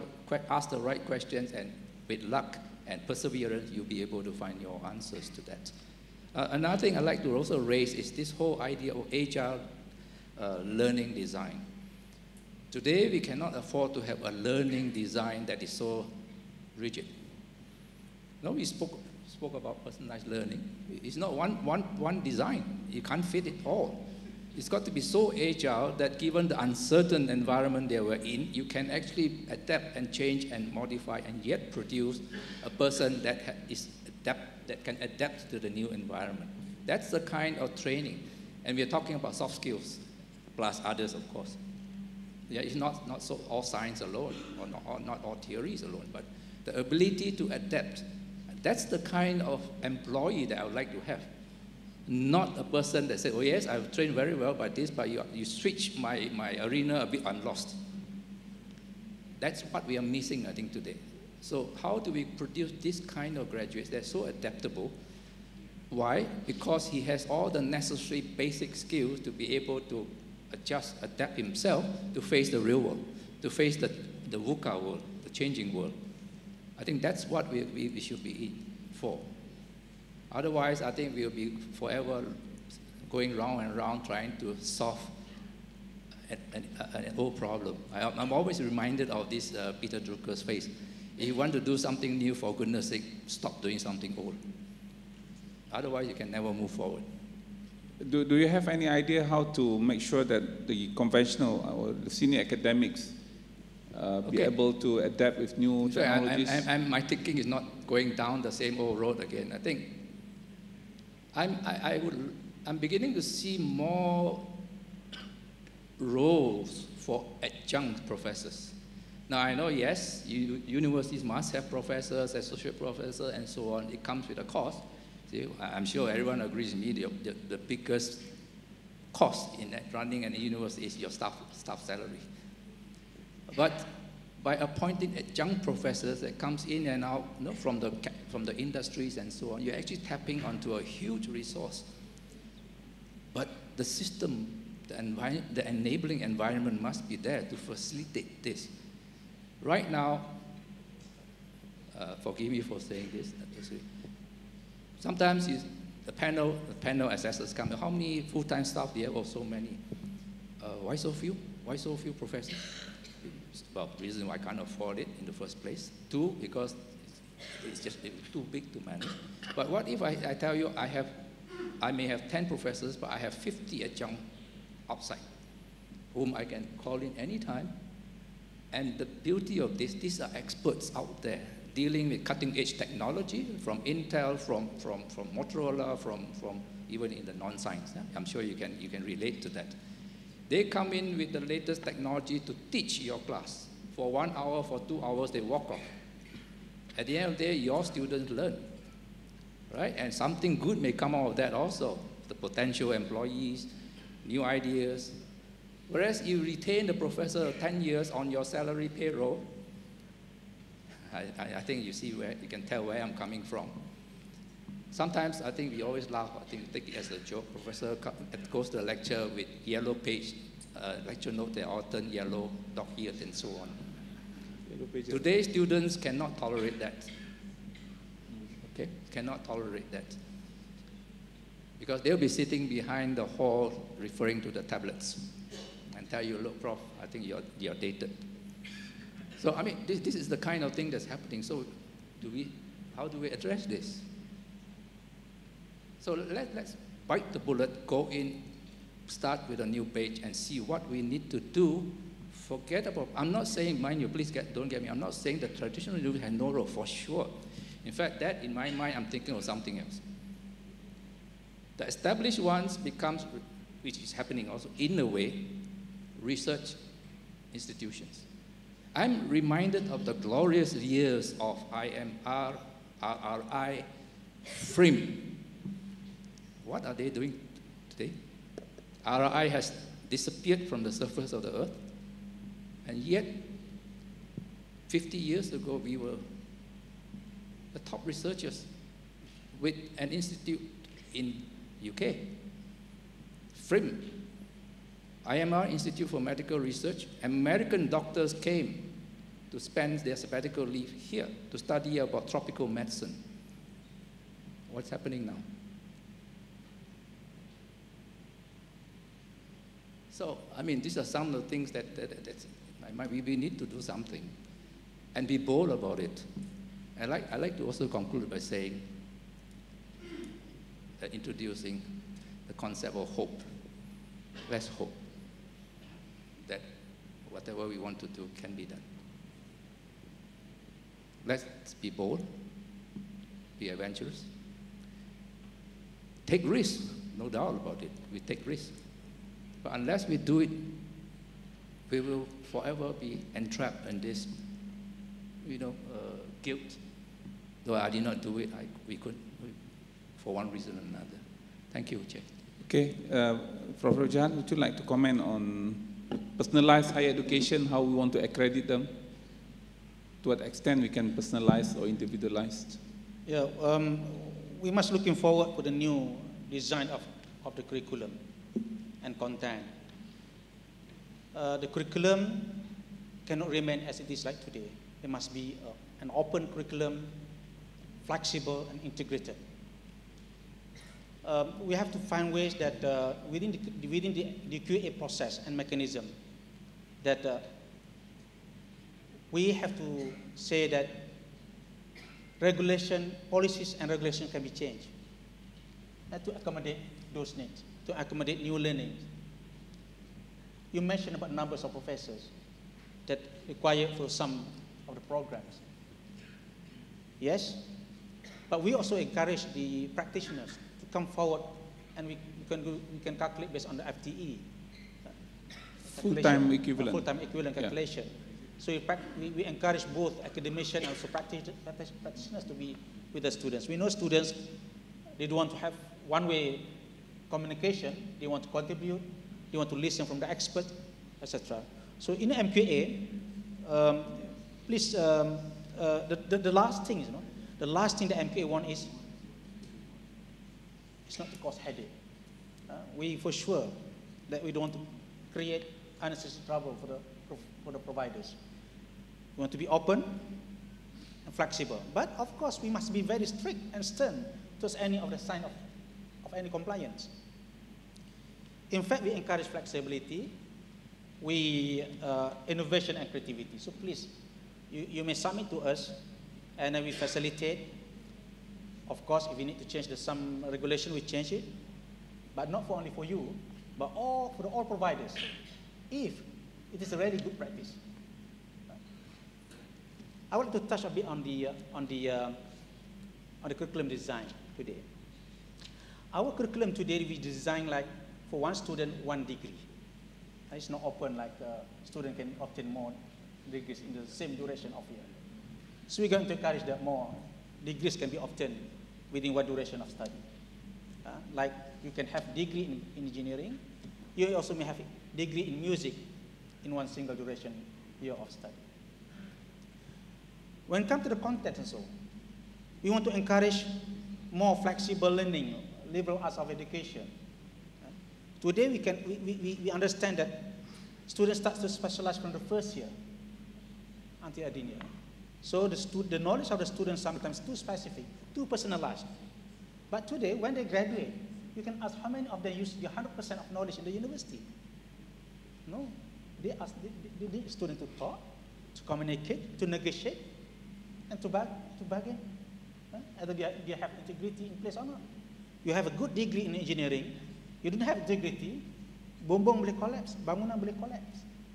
And like Datuk Zaini mentioned just now, we want to see that students are developed in holistic approach, balanced academic and non-academic. And Ministry has, uh, has uh, introduced what they call ICGPA to, to, to to evaluate all the performance of the student, potential of the students, academically and non, uh, and also with other aspect of the soft skill, etc. Um, can, can, can, we conclude later, yeah? Because I, I want to give uh, another round. Can I have two questions from floor, and then we conclude with panelists, and then uh, we would like Minister to say something uh, before 12. Yeah, it's okay. Another, yes. Can we have mics for him? Siapa yang jaga mic? Ya, cepat sikit.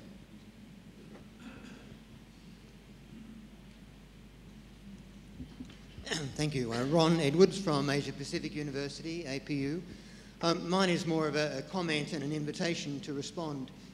it seems to me the notion of flexible education is a very broad one, and today's discussion has covered the, both ends. it includes the notion of an alternative um, to the traditional university where instead of students um, attending university, they study online entirely.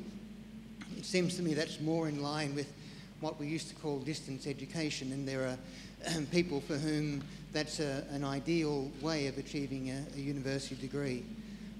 But perhaps um, with more impact, flexible education can be pursued through um, enriching existing universities, um, enriching the, the, the, role of the professor, the role of um, the teacher-student uh, relationship, the role of the uh, student-student relationship to make it a more inspiring and um, more satisfying experience.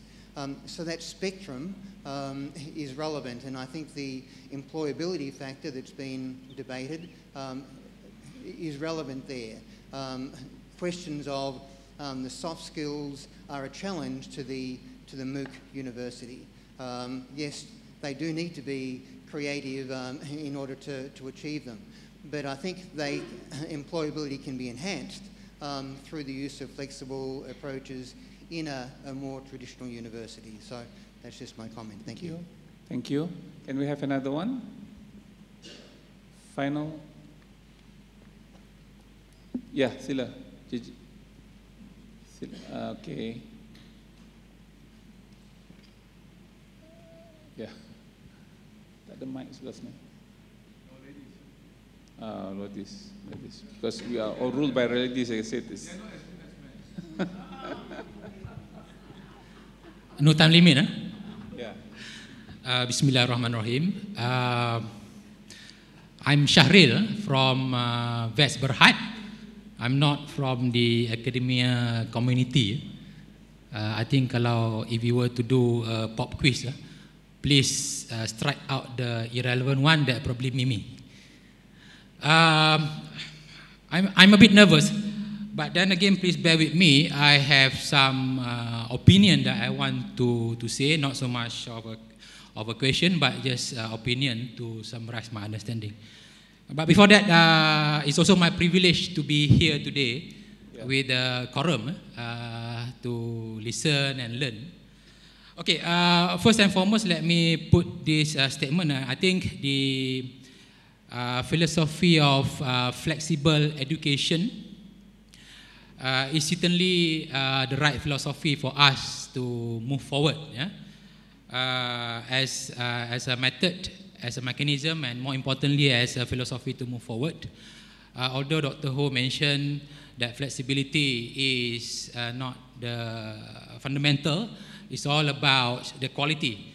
But I do believe that the flexibility, flexible education would eventually bring us uh, to the level of quality needed. Eh? Now, uh, I'm saying this for uh, at least uh, two reasons. Let me share uh, why I'm please, in the Please, we are concluding the session, so make okay. it shorter. All right. Uh, first and foremost, I think I would like to agree on the term in view of the education in context of social economic development. All right. And uh, today, if we look at uh, how the world is uh, changing, and uh, we see how uh, education is very closely related to the economic development of a country, i.e., in most cases, is all uh, what we call that measured through GDP. we have seen how the socio-economic development of the world is changing from agricultural to industrial services, and now we are moving into innovative or sharing or collaborative economy. And uh, on, on, that note, uh, if we look at the, the, the, the philosophy of education, uh, we are seeing education have actually moved from rigid education to flexible education. If we were to look at uh, the industrial economy, uh, back then, many of the university output uh, is producing talent for the economy that is rather rigid, i.e., we create uh, uh, students who would then uh, probably go into factory. Yeah? Hence, they are not allowed to exercise most of the creativity or not because they just go through the manufacturing line. But today, if we were to look at current economy, as what Prof. Uh, Dr. Hu has exactly mentioned, uh, our economy today are very uh, unpredictable, uh, very flexible. So if we were to look at uh, many of the new uh, economic or business initiative, is moving from uh, a, very rigid uh, uh, determinant to uh, something that is flexible, uh, collaborative in Yeah, nature, okay. so on and so forth. So I think uh, on Yeah, that please note, conclude. Please conclude. Yeah. So you have taken five minutes already. all right. So I think the, the future of education is, uh, as Yeah. what uh, we discussed, is that's what needed. right? Thank you. Thank you. Okay, uh, Adam, you have three minutes. Okay. Uh, so uh, thank you everyone for all the questions and the comments. It's really wonderful uh, to be here and to speak with the panelists and, and with all of you. Um, I think a lot of really great points uh, were raised today, and I do quite agree that quality is uh, essential in this, and I think a lot of the things that we're talking about can go towards enhancing the quality. Um, for a student, the, the quality of the learning experience is going to be based on what they feel uh, they've gotten out of it, how they've been transformed at the end.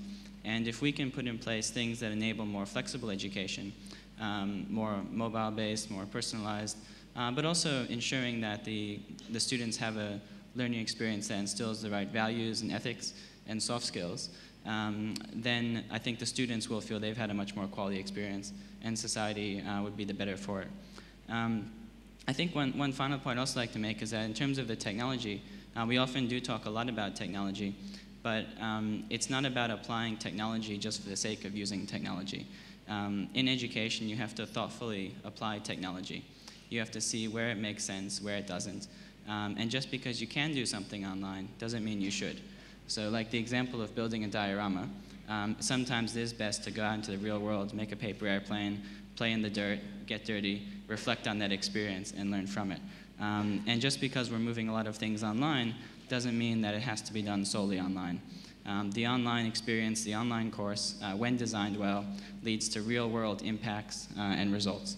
And whether that be through students working together with other people around the world to set up a not-for-profit um, that you know feeds hungry students, uh, feeds hungry people, I guess students uh, as well. Um, but also when you work together um, to set up businesses with people in other countries, and the students themselves, whether they're in Malaysia or the U.S. or elsewhere, are richer for that experience, and that's something that they won't get elsewhere. So I guess if we if we're going back to it, the focus on quality is good. The focus on technology, thoughtfully applied, and the ability for students to graduate from a university with both the soft and the hard skills, so that they make a great contribution to society going forward. Okay, thank you, Adam. Uh, then, Prof. Thank you very much, Chair. Uh, just be brief. I think I've started by uh, my, my delivery by saying that uh, flexibility should be seen more as a means rather than an end. I think let's all bear that in mind. How it pans out eventually, of course, depends very much on what we do. And there's a huge range of flexible things that we can think of time, place, and so on. I won't repeat that again. About a question that has actually crossed my mind is Does flexibility in certain areas actually promote learning? Uh, we, I think we need to ask that question as well. Certain form of flexibility, perhaps not. Others, perhaps the answer is yes, absolutely. So I think we, not, we got to look at this very intelligently. And uh, we, we, we did talk about the uncertainty uh, in, our, in our world today, uh, where we're not sure about the future. But what is for sure, and I'm reading this as writing on the wall, is the expectation of higher education institutions to do more with less, but with greater accountability. I think this is something we need to also take cognizance of and uh, follow through. Okay, the rest will be. Uh, we didn't have time to talk about policies related needs and so on, which of course the minister will be in the best position to answer. But certainly there, are certainly certain policy re related questions that we could also ask to provide the enabling in, uh, environment. Already your, your, your, your blueprint says that. Yeah, the six enabling factors. I think we need to study them one by one and see how can yeah, how can we deliver those. With that, thank you very much. Thank you, Prof. Rujhan. Yeah, the idea is to show how the, um, the learning can, can, uh, can be put together with the, uh, um, what they have done in the daily life, student daily life. They, they, they, they have hobbies, they, they like to play games, etc. So um, the focus of the student today is they study while they are, they are, they are learning. They, they want to play while they are learning. So we need to accommodate these needs in the future. That's why gamification of education is very crucial. We already take all activity in daily life into the curriculum for the future. So we can be more flexible, we can open to the new, new, new intention for the university. Oh, thank you. Uh, can I go back to my slides? I want to conclude by referring back to my slide. Yeah. Slide yang ada bulat-bulat, the diagram.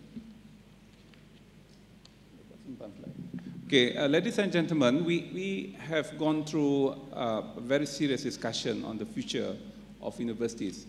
Um, from ministry perspective, uh, we have assigned universities with specific uh, roles to play. Um, unlike uh, countries like the United States, uh, where certain universities are not allowed or the charter is meant for specific objectives, in Malaysia, universities are free to grow. Say, for example, if you go to some universities in the US, they don't have master's program. They don't have PhD programs. They are limited to their, their uh, role to produce, say, for example, uh, bachelor students.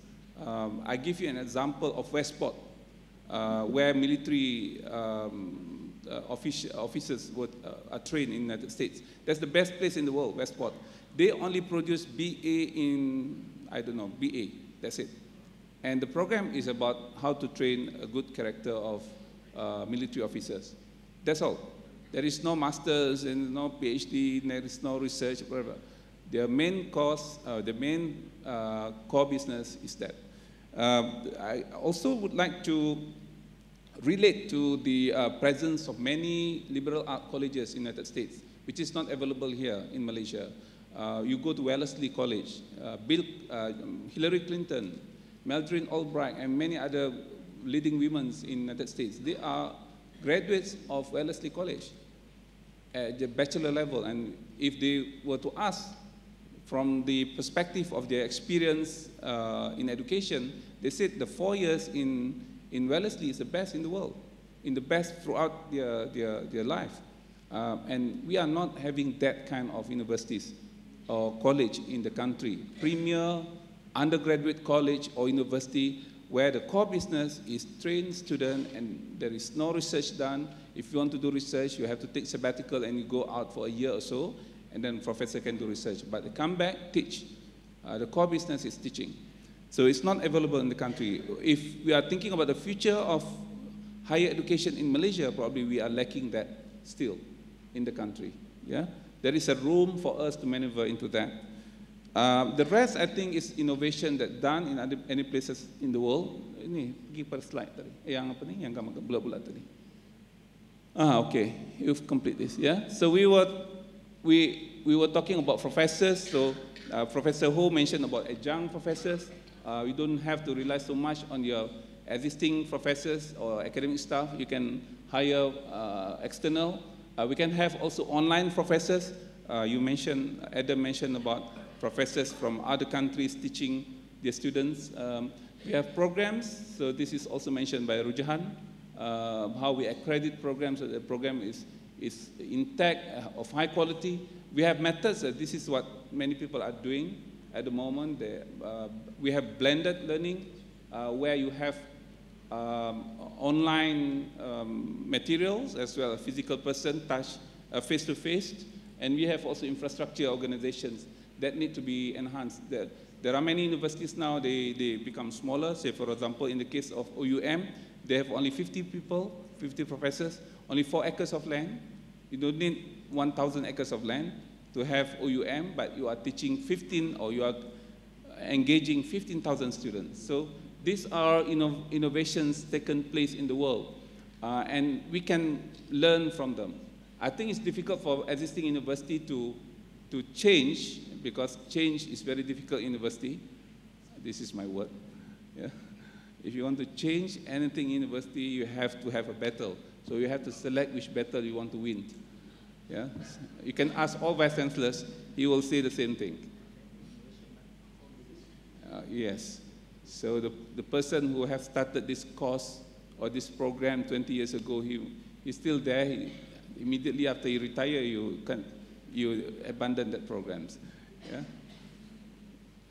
Uh, with that, I would like to thank everyone for your participa- uh, active participation. To the panelists, can we, sh- we show our appreciation for their presence and contribution? Assalamu alaikum warahmatullahi wabarakatuh. Thank you, Datuk Seri, and our panelists for the fruitful discussion. Ladies and gentlemen, please welcome the Honorable Datuk Seri Idris bin Jusoh, Minister of Higher Education, to give his speech and a few words of wisdom. Please, sir.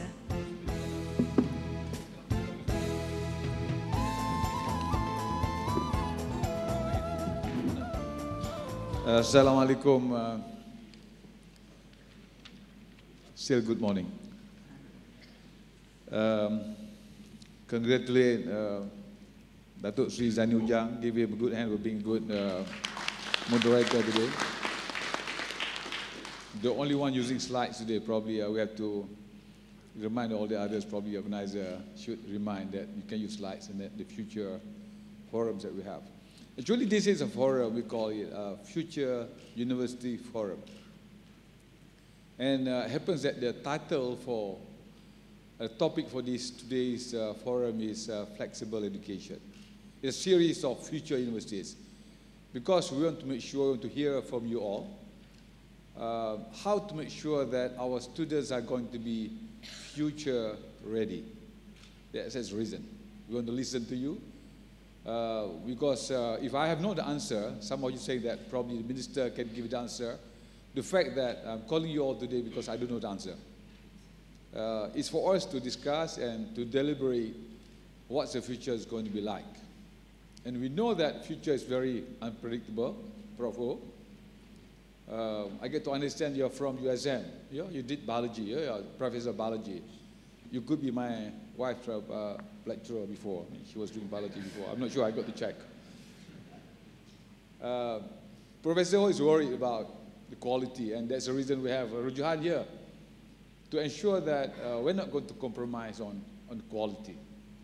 And Adam, being uh, an expert in open onli online, because the future is going to be based a lot on technology, that's why we have Adam here. And of course, we have you here to, to listen to your views, uh, what's the future education is going to be, and not only that, how it could be more flexible if it need to be, if it need to be, I said. So we are we're trying to understand the DNA of universities, as being said. What's the university going to be like? I like the view that we don't need any more extra new universities because we have enough at the moment. Uh, probably a future university need not to have a building. Or do we need to have a, it can be inside uh, the ministry, so you need a new building. Or you can have it in the Gloria Jean's coffee house. So uh, promoting Gloria for no reason again. So uh, again, uh, uh, this is a new setup actually. Thank you uh, to our Pengarah. Uh, I would like to emulate the World Economic Forum setup, but it's a bit too low today. But the, the, chairs and the, all those boxes look alike.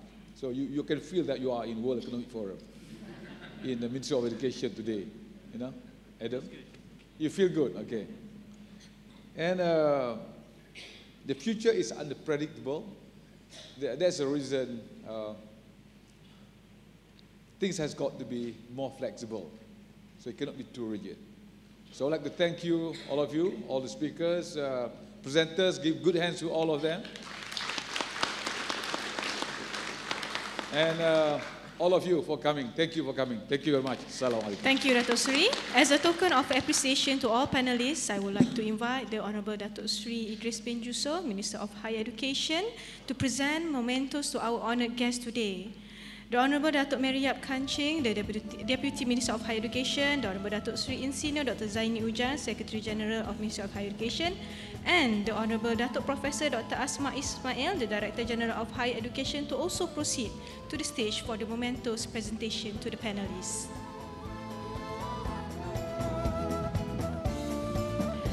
Please welcome the Honorable Datuk Professor Dr. Rujhan bin Mustafa,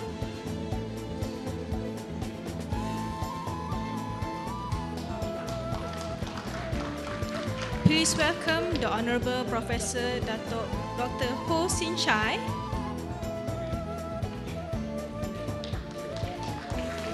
And last but not least, Mr. Adam Brimong.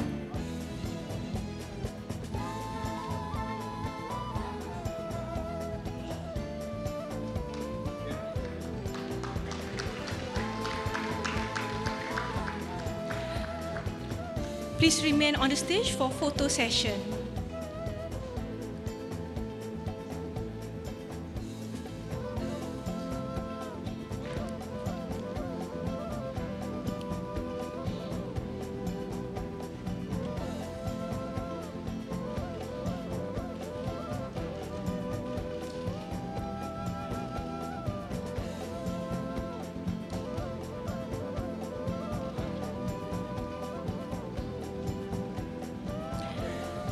Thank you to all our honorable guests. Ladies and gentlemen, with the presentation of mementos and photo session just now, thus end our session for today. Therefore, I would like to invite all our honored guests, ladies and gentlemen, to enjoy the scrumptious and delectable foods we have prepared. Bon appetit. I end with Wabillahi taufiq wal hidayah. Wassalamualaikum warahmatullahi wabarakatuh.